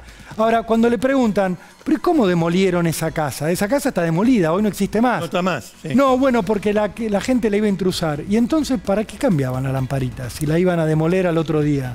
No, te- no tiene ninguna lógica. No, no tiene lógica. Pero entremos en No, detalle va- vamos- vamos de lo que declaró cada uno. Fíjate, Nahuel Vargas dijo que a Pilepich lo que Pilepich mató a Pérez Algaba mientras cambiaban una lamparita, mientras Pérez Algaba estaba subido a una silla cambiando la lamparita de un lugar que al otro día iba a ser demolido. ¿Para qué le pusieron lamparita? No, no, no, no se entiende. Maximiliano Pirlepich, ¿qué dijo? Dijo que ese día Vargas estaba desencajado con una pistola en la mano y le dijo, este hijo de put no daba para más. Y entonces O sea, uno le echa la culpa al otro, el otro le echa la culpa al uno. Eh, estaban los dos. Eh, no sé, tendrán abogados, Y- yo todo eso, pero esto... eh, Richard, para los fiscales, para el fiscal Marcelo. Domínguez, esto es servirle en bandeja a la acusación. Sí. Porque Bueno, los dos. los dos se ponen en la escena del crimen, solo que le echan la culpa al otro. ¿Qué dice el fiscal que pidió la prisión preventiva para Vargas, para Pilepich y para los otros cinco detenidos que tiene el caso? Se da un paso atrás y dice, estaban los dos en la escena del crimen, en el momento del crimen. Con dos tiros. O sea, hasta puede suponer que uno cada uno. Exactamente. De hecho, el único que habla de esos Poner, dos ¿no? tiros es Vargas, que dice, Pilepich estaba con dos pistolas Glock, una dorada y otra común, y le disparó con las dos pistolas. ¿Qué cree el fiscal? Que cada uno de ellos tenía una pistola y que dispararon los dos al mismo tiempo Mirá, por la espalda. Acá Mirá. está lo que estabas diciendo, mirá. Nahuel Vargas dijo que había dos armas en el lugar, una de Pérez Algaba y otra que tenía Pilepich, y que estas dos armas fueron utilizadas para asesinarlo a Pérez Algaba. Fíjense lo que dice Pirepich. Dijo ¿no? que Vargas, aquel, es su amigo del alma, le sacó el arma de la cintura a Pérez Algaba. Con lo cual acá introduce un elemento. Pérez Algaba, según Pirepich, tenía un arma en la cintura. Mientras cambiaba la lamparita. Dijo que Vargas, aquel, le sacó el arma de la cintura a Pérez Algaba mientras cambiaba la lamparita. Acá dice otra cosa. Hay una serie de situaciones que esta gente trata de explicar y que no tienen realmente una justificación. Pilepich tiene registrada su nombre una pistola Glock. Y lo que ha declarado Pilepich como testigo antes de ser imputado fue, Pérez Salgado un día antes de que nos encontráramos vino a casa y se llevó mi pistola. Me la sacó. Yo me di cuenta después. Y por eso él dice, ese día Pilepich, eh, Pilepich dice, ese día Pérez Algaba tenía una pistola, que era mi pistola, en la cintura. Para el fiscal todo es mucho más simple. La pistola siempre la tuvo Pilepich. Es todo discursivo. sí, te- te- Obviamente que va a haber explicación para lo que quiera. No, lo que pasa que vino a mi casa. No, lo que, lo que pasa que aquella noche yo me tomé un colectivo. No, lo que pasa que. Sí, sí, lo que pasa que. eh, hay millones de explicaciones. La verdad es una sola. ¿Qué es lo que surge de esto? esto es mi- este- usted ha- ha- haga la suma de estos dos y le da que los dos lo mataron. Y sí, Richard, mira, eh, detallemos un poco más lo que dijo Sí, Nahuel Vargas, dale. porque dijo que Pérez Algaba le mostró a Pilepich mensajes de Instagram donde conversaba con la hija de Pilepich de 13 años y que por eso lo asesinó. De hecho, Vargas dice que Pilepich le dijo, este hijo de puta no daba para más. Lo mismo que, según Pilepich, dijo Vargas, por motivos diferentes, ¿no, Richard? Claro, ¿qué dijo sobre eh, eh, la razón eh, Pilepich? Que Pérez Algaba le mostró que estaba manteniendo relaciones con la ex. Con la ex de Vargas. ex de Vargas, ¿no? Y eso lo ensegueció a Vargas y por eso lo mató.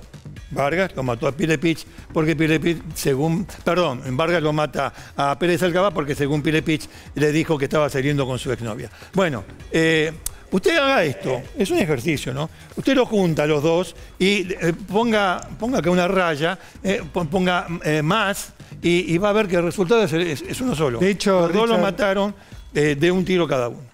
El fiscal lo que dijo en su pedido de prisión preventiva es justamente estos dos hombres, Pilepich y Vargas, que supuestamente eran amigos entre sí y que supuestamente habían sido amigos de Pérez Algaba, se pusieron de acuerdo, generaron un plan criminal para asesinar a Pérez Algaba para no pagarle. Lo mataron por codicia, porque le debían guita, y para no pagarle lo eliminaron. Y lo que dice el fiscal es, este plan comienza cuando le dicen a Pérez Algaba, te vamos a pagar. Vos vení que te vamos a pagar. Van con él a una escribanía de Castelar, ahí firman un boleto donde se hacían cargo de la deuda, donde le reconocían todo, sí, te vamos a pagar. Nos encontramos en General Rodríguez, ahí te pagamos. Y hago un breve paréntesis para una persona que Richard ha mencionado mucho acá. Flavia Bomrad, una gestora que era amiga de Pérez Algaba, que era amante de Pilepich y que fue la que lo termina convenciendo, según la fiscalía, a Pérez Algaba de que fuera ese día a General Rodríguez a encontrarse con los dos asesinos. Andá, andá, le dice, andá. anda que no hay ningún problema, te van a pagar. Y Pérez Algaba le decía, tengo miedo de que me maten, tengo miedo de que me asesinen. Y ella le dijo, anda que no hay problema. No, no, no. No, no, no. Vos sabés que, que no pasa nada. Bueno, la situación es esta con el caso de eh, Pérez Alcaba, alias Lechuga. Eh, los eh, acusados se, se- se acusan, los, los dos que están detenidos y acusados este, se tiran la pelota uno a otro, se acusan mutuamente. Eh, bueno, amigos, vamos a hacer una pausa Dale, ahora vamos y después, después, como se decía antes, después viene lo mejor. Bueno, continuamos, Rolo, en Dale. Cámara del Crimen. Con todo, ¿eh? porque es un momento el clave. Es el momento clave. Llegó el momento. Llegó el momento del desarmadero. Yo no tiré. ¿Vos no tiraste? ¿Y entonces quién tiró? Entonces, ¿quién tiró? Eh, para, para contarles cómo llegamos a esta situación de quién tiró, quién no tiró, es necesaria la música de Creedence. Ahí está, mirá. Vamos al Vamos desarmadero. al desarmadero, al desarmadero. Bueno, muy bien. Muy bien. Acá tenemos este, material de época. Sí, Richard, porque época. nos vamos a ir... eh, Tenemos un gran director hoy, ¿eh? Sí. Gran director. un lujo, hecho. Un lujo, un lujo. Eh, Lujo. tenemos que irnos muy atrás en el tiempo. Eh, no tanto. No, porque uno lo siente más cercano, pero eso denota la propiedad, por supuesto. Pero 1990, Richard. 1990, escúchame. Este, estaba Carlito. Sí. Sí, el salariazo Eh, estaba. estaba el salariazo. La revolución productiva. Sí, todavía no estaba la convertibilidad. No, No, todavía no. Eh, no, es del 91 la convertible. Claro, vendría después. Este, en el 90, en el 90, ¿quién salió campeón en el 90? No me acuerdo. Bueno, Argentina es subcampeón del mundo. Ah, fue el Ah, del Mundial. Mundial de. Italia 90. Sí, más bien, más Sí, bien, claro. Perdemos 1 a 0, gol Sí. de Breme en la final. El gol de- sí, un penal, que no fue. Este, Maradona diciendo antes del, del- del partido vino Grondona y nos dijo, muchachos, hasta acá llegamos. Y dice, no, don Julio. Está dando vuelta todo eso. En, en- Y de fútbol local mejor no hablemos, Richard, porque no, No, mejor no hablar. era, no, no eran buenos años. No, no, no, no, no eran buenos años. No, al año siguiente hubo algo, pero ese año no. Bueno, ¿de qué estamos hablando? No. No, porque es para ubicarnos en los 90. Claro, todo Eh, justamente en 1990, presidencia de Carlos Saúl, como decías, Saúl. Argentina subcampeón mundial. Eh, no. Iba a ser ese año. La historia de la cual vamos a hablar ¿Estás bajo? empieza, estoy un poco bajo, pero no importa. Ah, no, ¿Querés que me suba? Me, elevo un poquito en la Si silla. no lo encuentro. Ahí está. Ahí está. Bueno, ahí ahí está. subí un poco yo. Listo. Eh, 1990, 9 de marzo.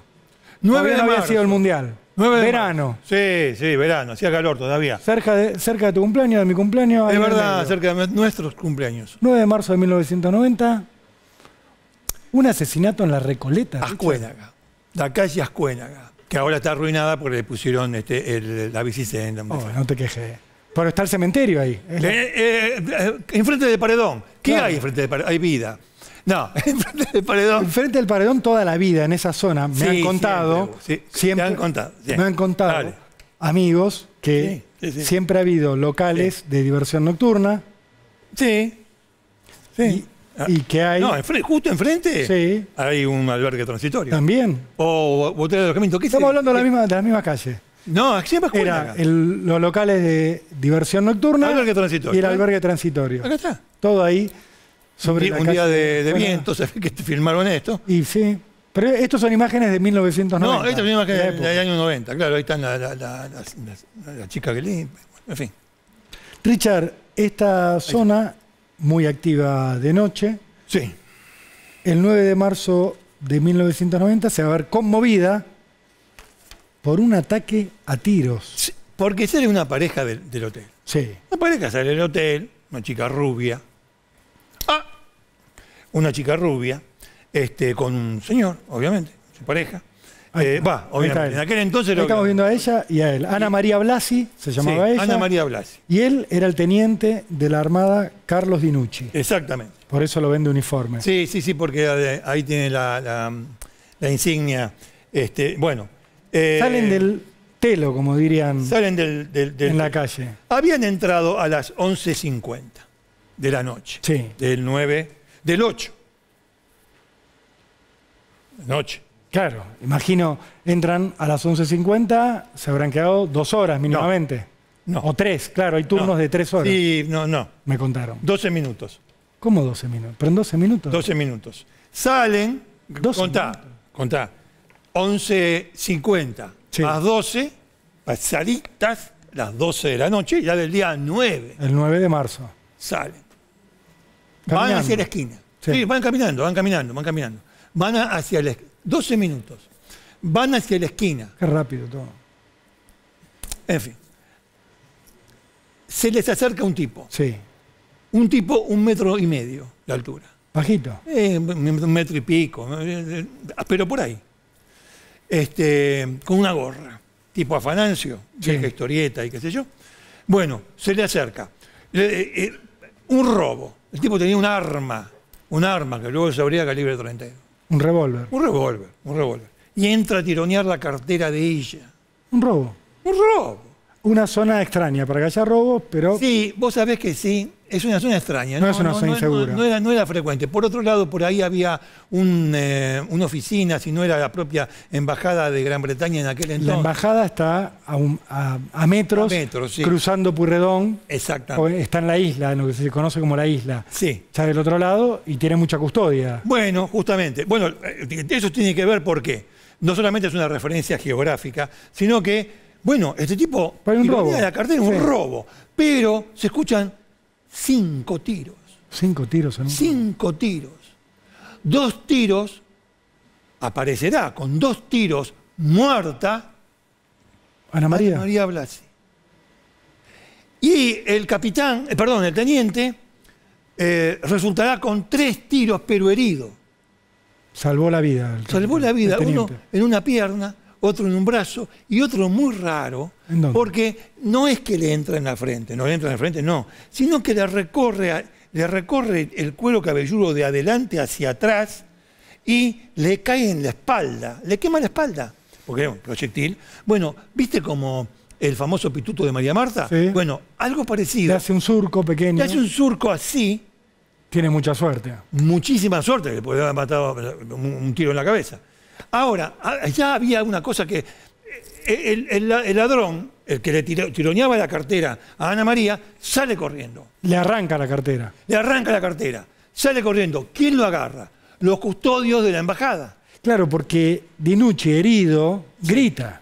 Gri- no, sí hay grito, claro. Digo, además de los cinco estampidos que No, está bien. en la noche, pero bien. él grita. O sea, Sí. Dinucci Sí. está herido levemente, su novia agonizando o ya muerta, Sí, sí, sí. y él se pone a Ahí, gritar. En el primer árbol, eh, cae. Hay un árbol ahí. Bueno, ahí, ahí cae. Este, y mm, como es, si se pone a gritar, obviamente, bueno, los tipos eh, escuchan y, y los custodios lo agarran Al al ladrón, ladrón. barra asesino. barra asesino, claro. Con la cartera de Ana María. Con la cartera, con el revólver, tenía todo el tipo. Bueno, un crimen en ocasión de robo. Un crimen, una ocasión de robo, lo llevan a la comisaría. Tenemos una crónica de la época, del hecho. Nada de lo que contamos hasta ahora podría ser así. Podría. Vamos a ver. Dale. Vamos a ver a la época. En este hotel alojamiento, en la entrada de este hotel, fue asaltada una Al pareja. lado, al lado. ¿Qué pasó? Al lado. Anoche fue, no, no estábamos nosotros, pero fue asaltada y le pegaron un par de tiros a la, a la chica, al tipo también. Ella cayó acá. La cabeza de ella está acá. Está, todavía queda un poquito de. Cayó con las piernas para acá. Con las piernas hacia acá. Y allí, eh, ¿cuál es la actitud de su novio? Manuel gritaba, estaba desesperado. Desesperado pidiendo socorro, ayuda. Desesperado. Incluso en un momento se sentó en el capó del coche porque ya no daba más porque estaba herido. Eh, pedía que por favor la ayuden a ella, porque le preguntaba, ¿usted está herido? No, yo no importo, decía. Lo que importa es ella. El conserje del hotel. El era. conserje del hotel, un testimonio importante. Importante y aparte él iba a guardar en la memoria a estas dos personas antes del hecho por los 12 minutos que habían estado. los 12 porque no debe ser habitual que 12 minutos. dos personas entren a un hotel y salgan a los 12 minutos. Bueno, pero ¿sabes qué pasa? Que ya está. No, ya está no. Lo llevan preso al ladrón barra asesino, Sí. ¿no? Con la cartera, lo agarraron con todo. Lo Richard. agarraron con todo. Ya está, yo. esclarecido. Muy bien. Este, lo conocían.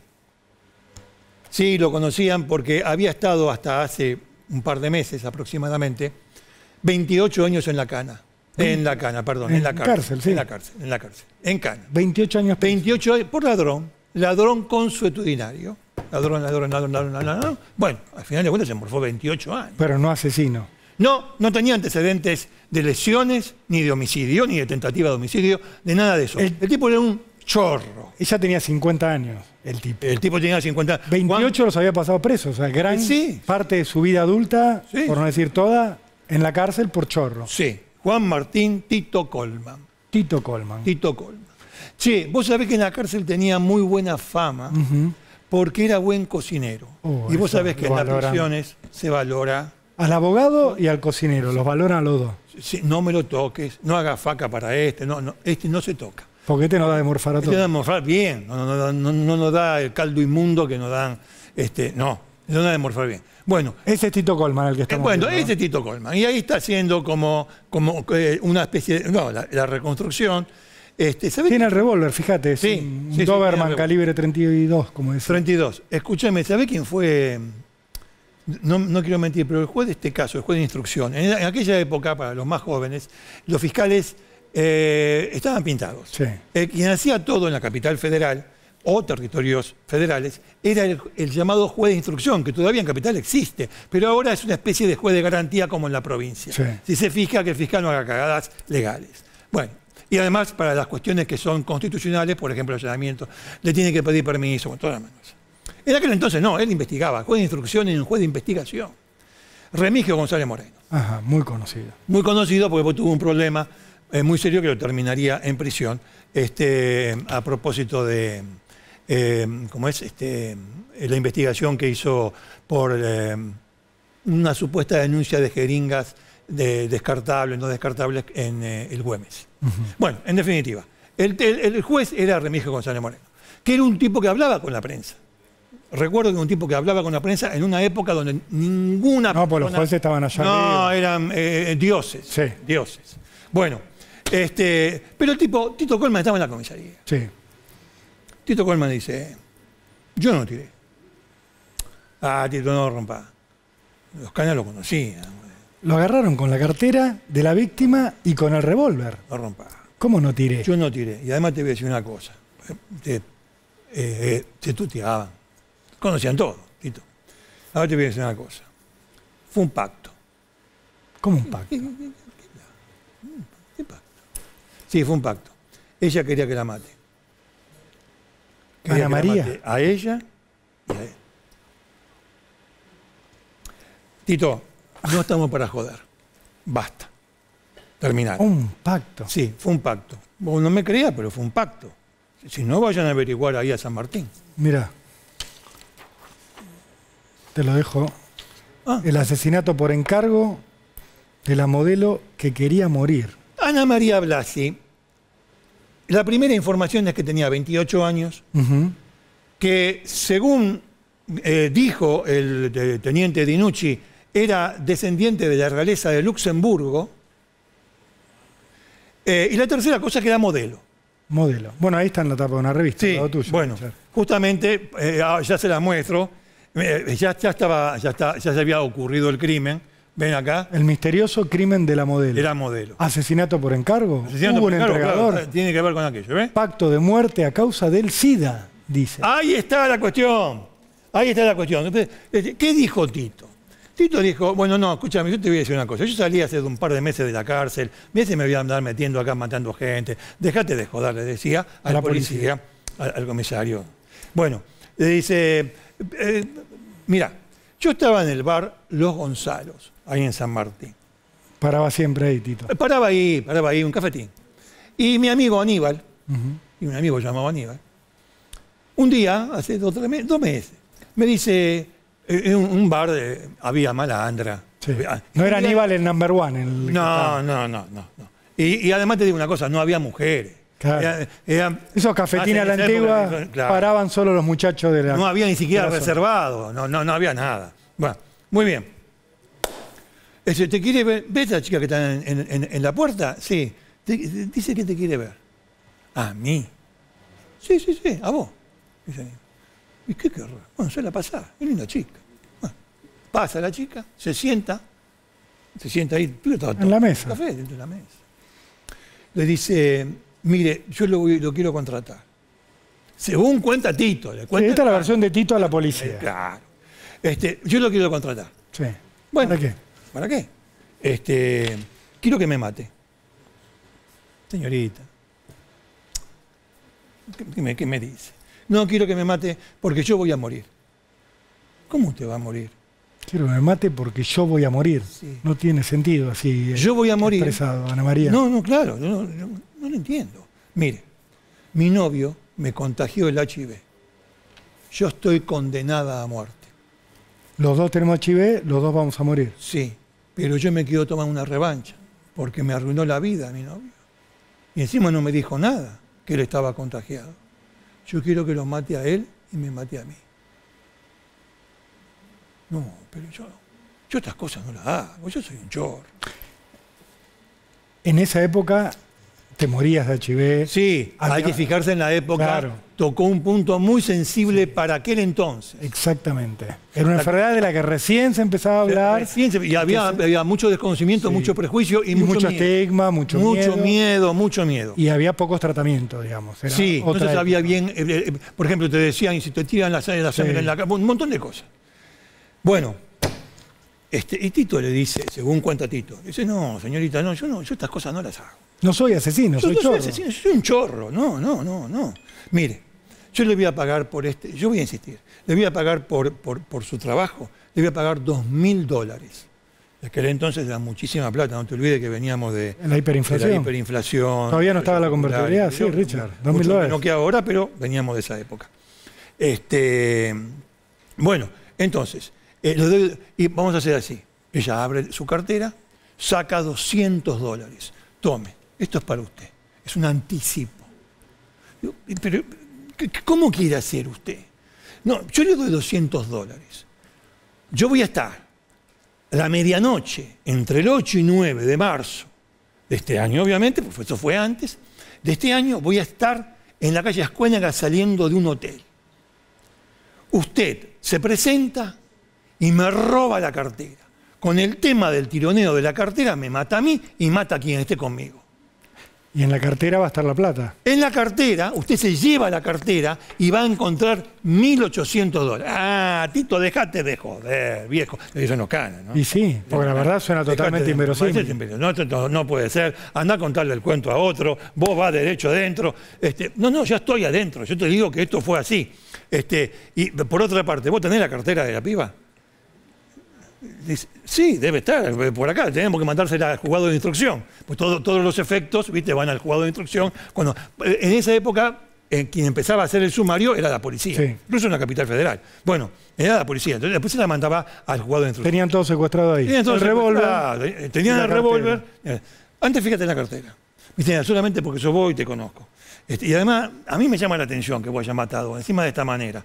Este, y además, ¿vos, vos sabés que so- tres tiros le pegaste al, al- al teniente? No, yo no le pegué ningún tiro. No. No, escúchame, tiene tres balazos, se salvó de milagro este Pero hombre. T- Tito le va a decir a la policía, mi revólver solo tenía dos balas que servían. Tenía otras tres que eran de otro calibre y no salían. Yo disparé dos tiros y al aire para asustarlo. Vos tenés todos los efectos acá, andá a fijar, antes de ir a ver la cartera, andá a fijarte en el revólver. Yo, como dijiste vos, yo disparé dos veces. Pero hubo cinco tiros en el hecho. Sí, eso hubo probado. cinco tiros. Bueno, andá, andá, que yo le puse, como yo, esto es para intimidar, yo le puse tres balas que no son de ese calibre, no lo podía disparar nunca. Andá y fíjate. Bueno, va. Se fija el comisario. Efectivamente. Había dos tambores, dos eh, huecos Balas percutadas, sí. Vos, vos dos balas percutadas y tres proyectiles en el tambor que no eran del calibre del revólver. O sea, no había forma de que No hubiera puede. disparado cinco tiros ese revólver. Entonces, ese revólver no disparó cinco tiros. ¿Qué me dijiste, Tito, de, la, de, de- de cómo arreglaron ustedes? No, que me, iba a dar- me dio 200 dólares y 1800 están ahí en la cartera. Ah, en la cartera. Vamos a revisarla. Saca el espejito, ¿viste? Las mujeres. El espejito, saca esto, saca el otro. Saca no hay nada. Tito, dejate de joder. No había dólares. No había nada. Verso de Tito. Tito, Tito le dice, escúchame, ¿vos estás casado? ¿Vos alguna vez saliste con una mujer? ¿Vos no sabés que las carteras de las mujeres tienen un cierre? Donde guardan los documentos y guardan la plata. ¿De dónde saliste? Con un repollo. Andá y fíjate si tiene un cierre. El cana. Abre, saca, 1.800 dólares. No. ¿Cómo podía saber Tito que había 1.800 dólares si no era cierta su historia?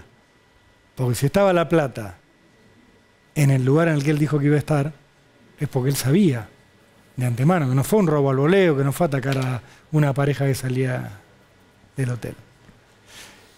Misterio. Va.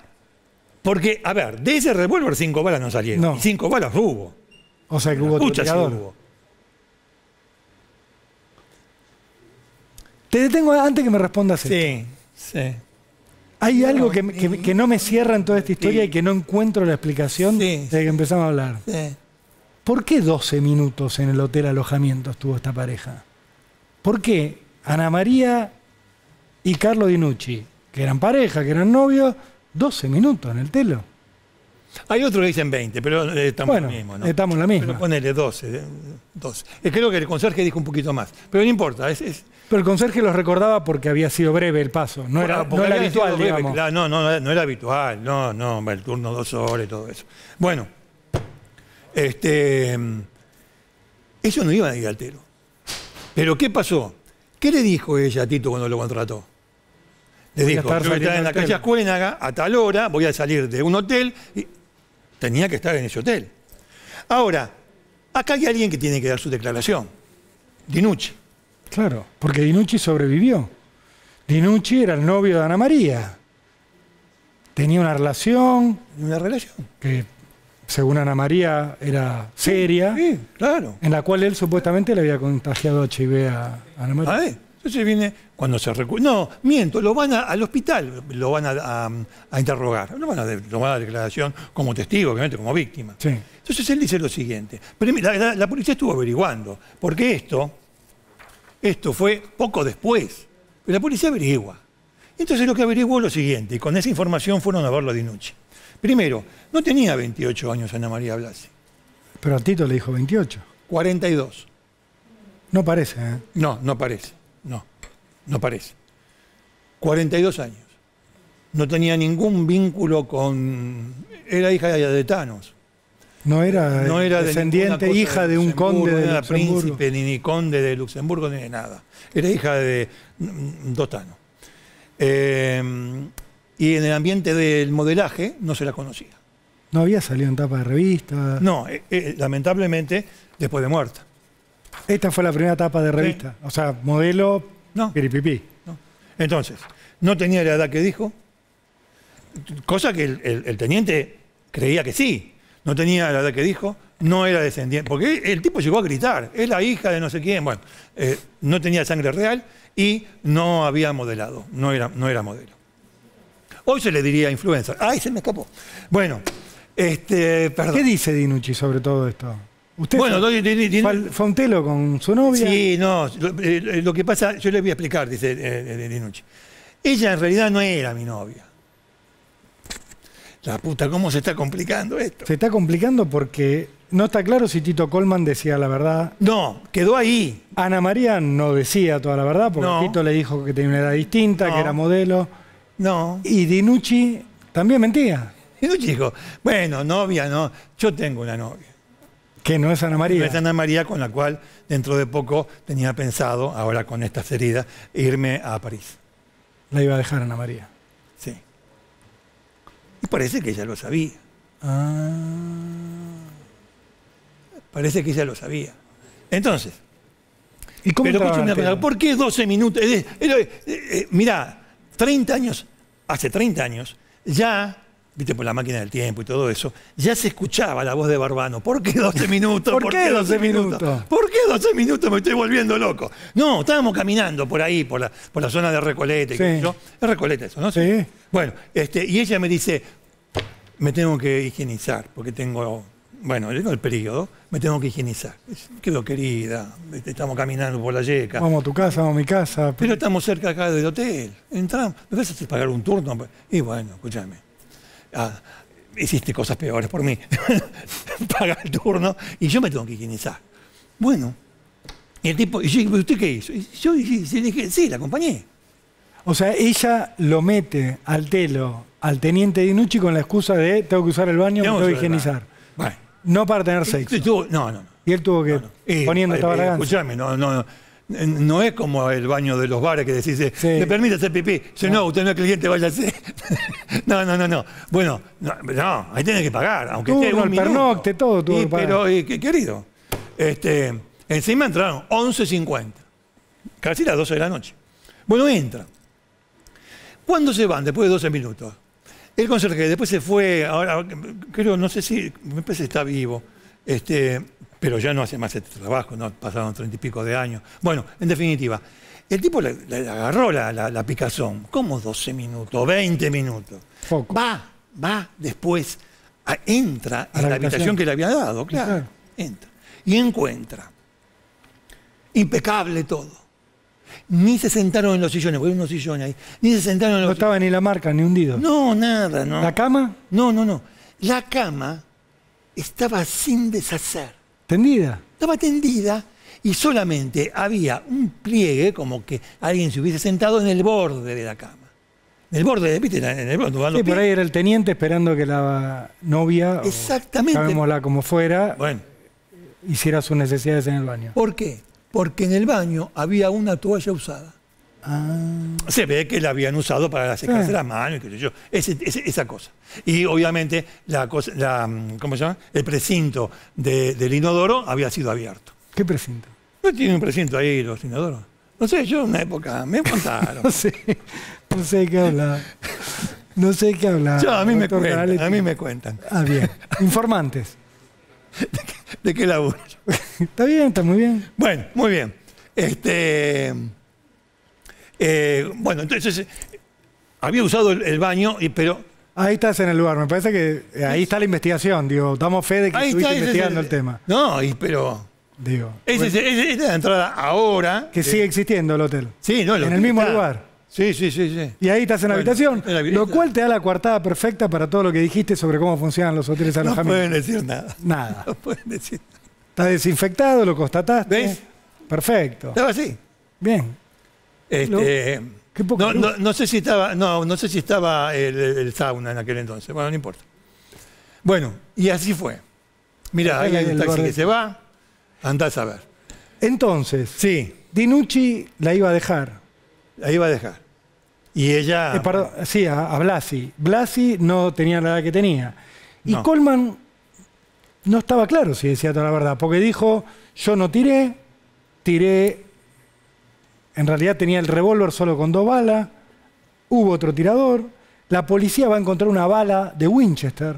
Sí, en la, escena policía- del crimen. Claro, lo, de balística. Van ahí. Un fusil, o sea, bala de un sí, fusil. bala de un fusil. Y después no estaba claro, o no quedó claro, o no trascendió del sumario, a pesar de que Remigio González Moreno hablaba siempre. No trascendió si eh, el famoso surco había sido de adelante hacia atrás o de atrás hacia adelante. Porque si le tiraron de atrás era claramente otro tirador. Desde, desde el muro del, del cementerio. Porque ahí está, hay árboles. Ahí yo te dije que había caído cerca de un árbol o en un árbol. Bueno, cayó cerca de un árbol. Hay un árbol, enfrente hay árboles. Bueno, en fin. Me falta un elemento para decidir si le creo a Colman o no le creo. Sí, Según dijo Tito, sí, Ana María Blasi sí. y el teniente Dinucci tenían HIV. Sí. Esto también se puede constatar. Se- de hecho, fue una de las cosas que hizo hacer el juez. Un análisis de sangre, tanto de, de- de- de la víctima mortal como de Dinucci. No tenían HIV. Negativo. O sea que toda esta historia que había contado Tito de yo voy a morir, por eso matame y matalo a mi novio para vengarnos, este es Tito, para vengarnos. Este es Tito Goldman. Me quiero vengar de que me contagió HIV, no era del todo No. creíble porque no había HIV. Tenía todo armado, sostenido, pero se le cayó una pata muy importante. Si todo esto Que era fue- el móvil de este pacto de muerte. Si, si todo esto fue por el tema de la enfermedad, no tenía ninguno de los dos tenía enfermedad alguna. No tenía nada. A juicio, Tito. Bueno, a juicio, ladrón, este, con- con- estaba en el lugar del hecho, lo que vos dijiste, este, la cartera, toda la mano. 25 años de prisión. Le dieron. por matar a Ana María. Por matar a Ana María. Y eh, el te- intento de homicidio de. Dinucci se va del país. Se fue del país a Francia, justamente. El tipo era contador y estaba asimilado a la Armada. No era militar de carrera. Pero bueno, vos sabés que Sí. eh, teniendo cualquier título, qué sé yo, no sé, Sí, cualquier. porque la Armada necesita contadores, Necesita abogados. abogado, enfermero, qué sé yo, lo que sea. Entonces hizo una carrera como tenía grado de oficial, grado de oficial. Bueno, se fue y nunca más se supo de él. Desaparece de esta historia. Tito. Claro, Tito está en la cárcel. la madre, la mamá, la, la madre lo iba a visitar a la cárcel, otra vez. a- Bueno, salió de la prisión muchos años después, muchos años después, y la gente, no, es decir, los periodistas no se habían olvidado de él. Le hicieron una entrevista. Tito, no puede contar realmente qué pasó. La verdad de la esa milanesa. Ya está, ya juzgado, está. condenado, Ya- cumpliste ya la pena. realidad transitoria, te comiste un montón de años más adentro y todo porque... A ver, decinos qué pasó. No, mira. Yo dije la verdad, pero mentí en una cosa. Yo mentí en una cosa. La chica, cuando me vino a ver en el bar Los Gonzalo, ahí de San Martín, no me dijo lo del HIV. No, me dijo que eh, ella, el novio le había regalado un anillo de brillantes, diamante, no sé qué, no me, no me acuerdo. Sí, oro y brillante. Oro y brillantes. Y ella lo había empeñado. Y no le quería decir nada al novio. ¿Qué tiene que ver eso con Tito? Entonces, lo que quería ella, me dijo, es que yo le robara la cartera esa noche en ese lugar para justificarse y decirle al novio, mira, en la cartera que, me- no- que nos robaron, que me robaron, La joya que me estaba la joya que vos me regalaste. Igual entre eso y un pacto de muerte hay una distancia. No hay una distancia muy grande. Cambió la versión, pero terminó diciendo, no, tirar, yo no tiré. Ni una, ni dos, ni tres, ni cuatro, ni cinco. Hubo alguien más ahí. Si querés lo podemos escuchar a Tito A ver, hablando sobre el caso. Mira. de acuerdo a, lo a la historia que me hacen inventar, de que yo tengo un pacto de sangre con la finada. Si así hubiese sido, ¿a quién hubiera tenido que matar primero yo? Si tengo el consentimiento de la mujer. Él en todo momento eh, está de frente a mí y él tiene un tiro en la espalda. ¿Quién se lo pegó el tiro? ¿Por qué me hacen llegar a mí un supuesto arrebato de una cartera? Porque tenía que terminar todo ahí.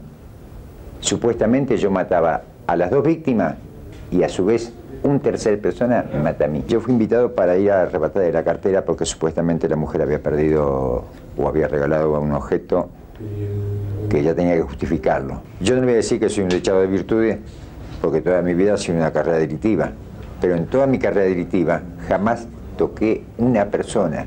Mi lema fue ir y llevarme la plata, pero no golpear. Jamás tiré un tiro contra una persona. Tito seguía insistiendo con me pagó ella para robar, y ahí no para matar. No para matar. Y ahí sugiere el tema de, eh, de- del objeto que, que- que- que ella tenía que justificar su, su ausencia. Tiene un punto de lógica lo que dice Tito, mientras vamos a ver lo que vamos dibujó Miguel sí. Paradiso. Sí. Es verdad que si él tenía que ir a matar, primero iba a tirarle a Dinucci Es cierto. y después a ella. No, y además lo que dice- No te vas a arriesgar a matarla a ella primero y que Dinucci intervenga, No, y te claro. frene. Y ade- además eh, está el tema de mm, eh, mm, el, tiro por la espalda. Viste que él habla de un tiro por la espalda, de que en, en su nueva versión era como un complot, donde tenían que morir los tres. Y a él lo ponen ahí para Pero que bueno, pague el pato. es una palabra, es un misterio. Total. Hay misterio en serio, ¿verdad? Mike, a ver. Bueno, ¿Qué has dibujado, Miguel? Uh, bueno, loco. acá el momento. El momento. Sí. Y es el momento. Es ¿Cuántos espectacular. Miguel, siempre dibujás lo que no podemos ver. Nos mostrás, en este caso, la escena del robo, del ataque, porque está ahí Claro. Está tironeando Tito tironeándole la cartera, es espectacular. Ella se resiste y el novio está sorprendido, Miguel. Claro, porque ve el ataque. Y Sí, claro. en el momento. Y ahí está Tito. Tito me dio un 1.50. 1.50, bajito y con una campera muy noventosa lo hizo Miguel, que siempre se fija hasta en el último detalle. Buenísimo el dibujo, Mike. Bueno, Si claro. quieren ver más de lo que dibuja Mike, este dibujo y otros, en Instagram, Miguel Paradiso Arte, están todas las obras de Miguel. Exacto. Un lujo. Corte y volvemos, dale. Dale. Bueno, Rolo, ¿qué hacemos? Me parece que no hay tiempo para nada más, Richard. ya. Nos tenemos que ir, nos tenemos que ir, amigos. Eh, así que vamos con los saludos a la familia de Palma por los libros. Los por- códigos de Hammurabi, la- espectacular. La editorial de Hammurabi, claro. Este, a Agustino por la pilcha, claramente, eh, a Gustavo Arce. Y Nada más. ci vediamo vediamo fra una settimana. settimana. Arrivederci.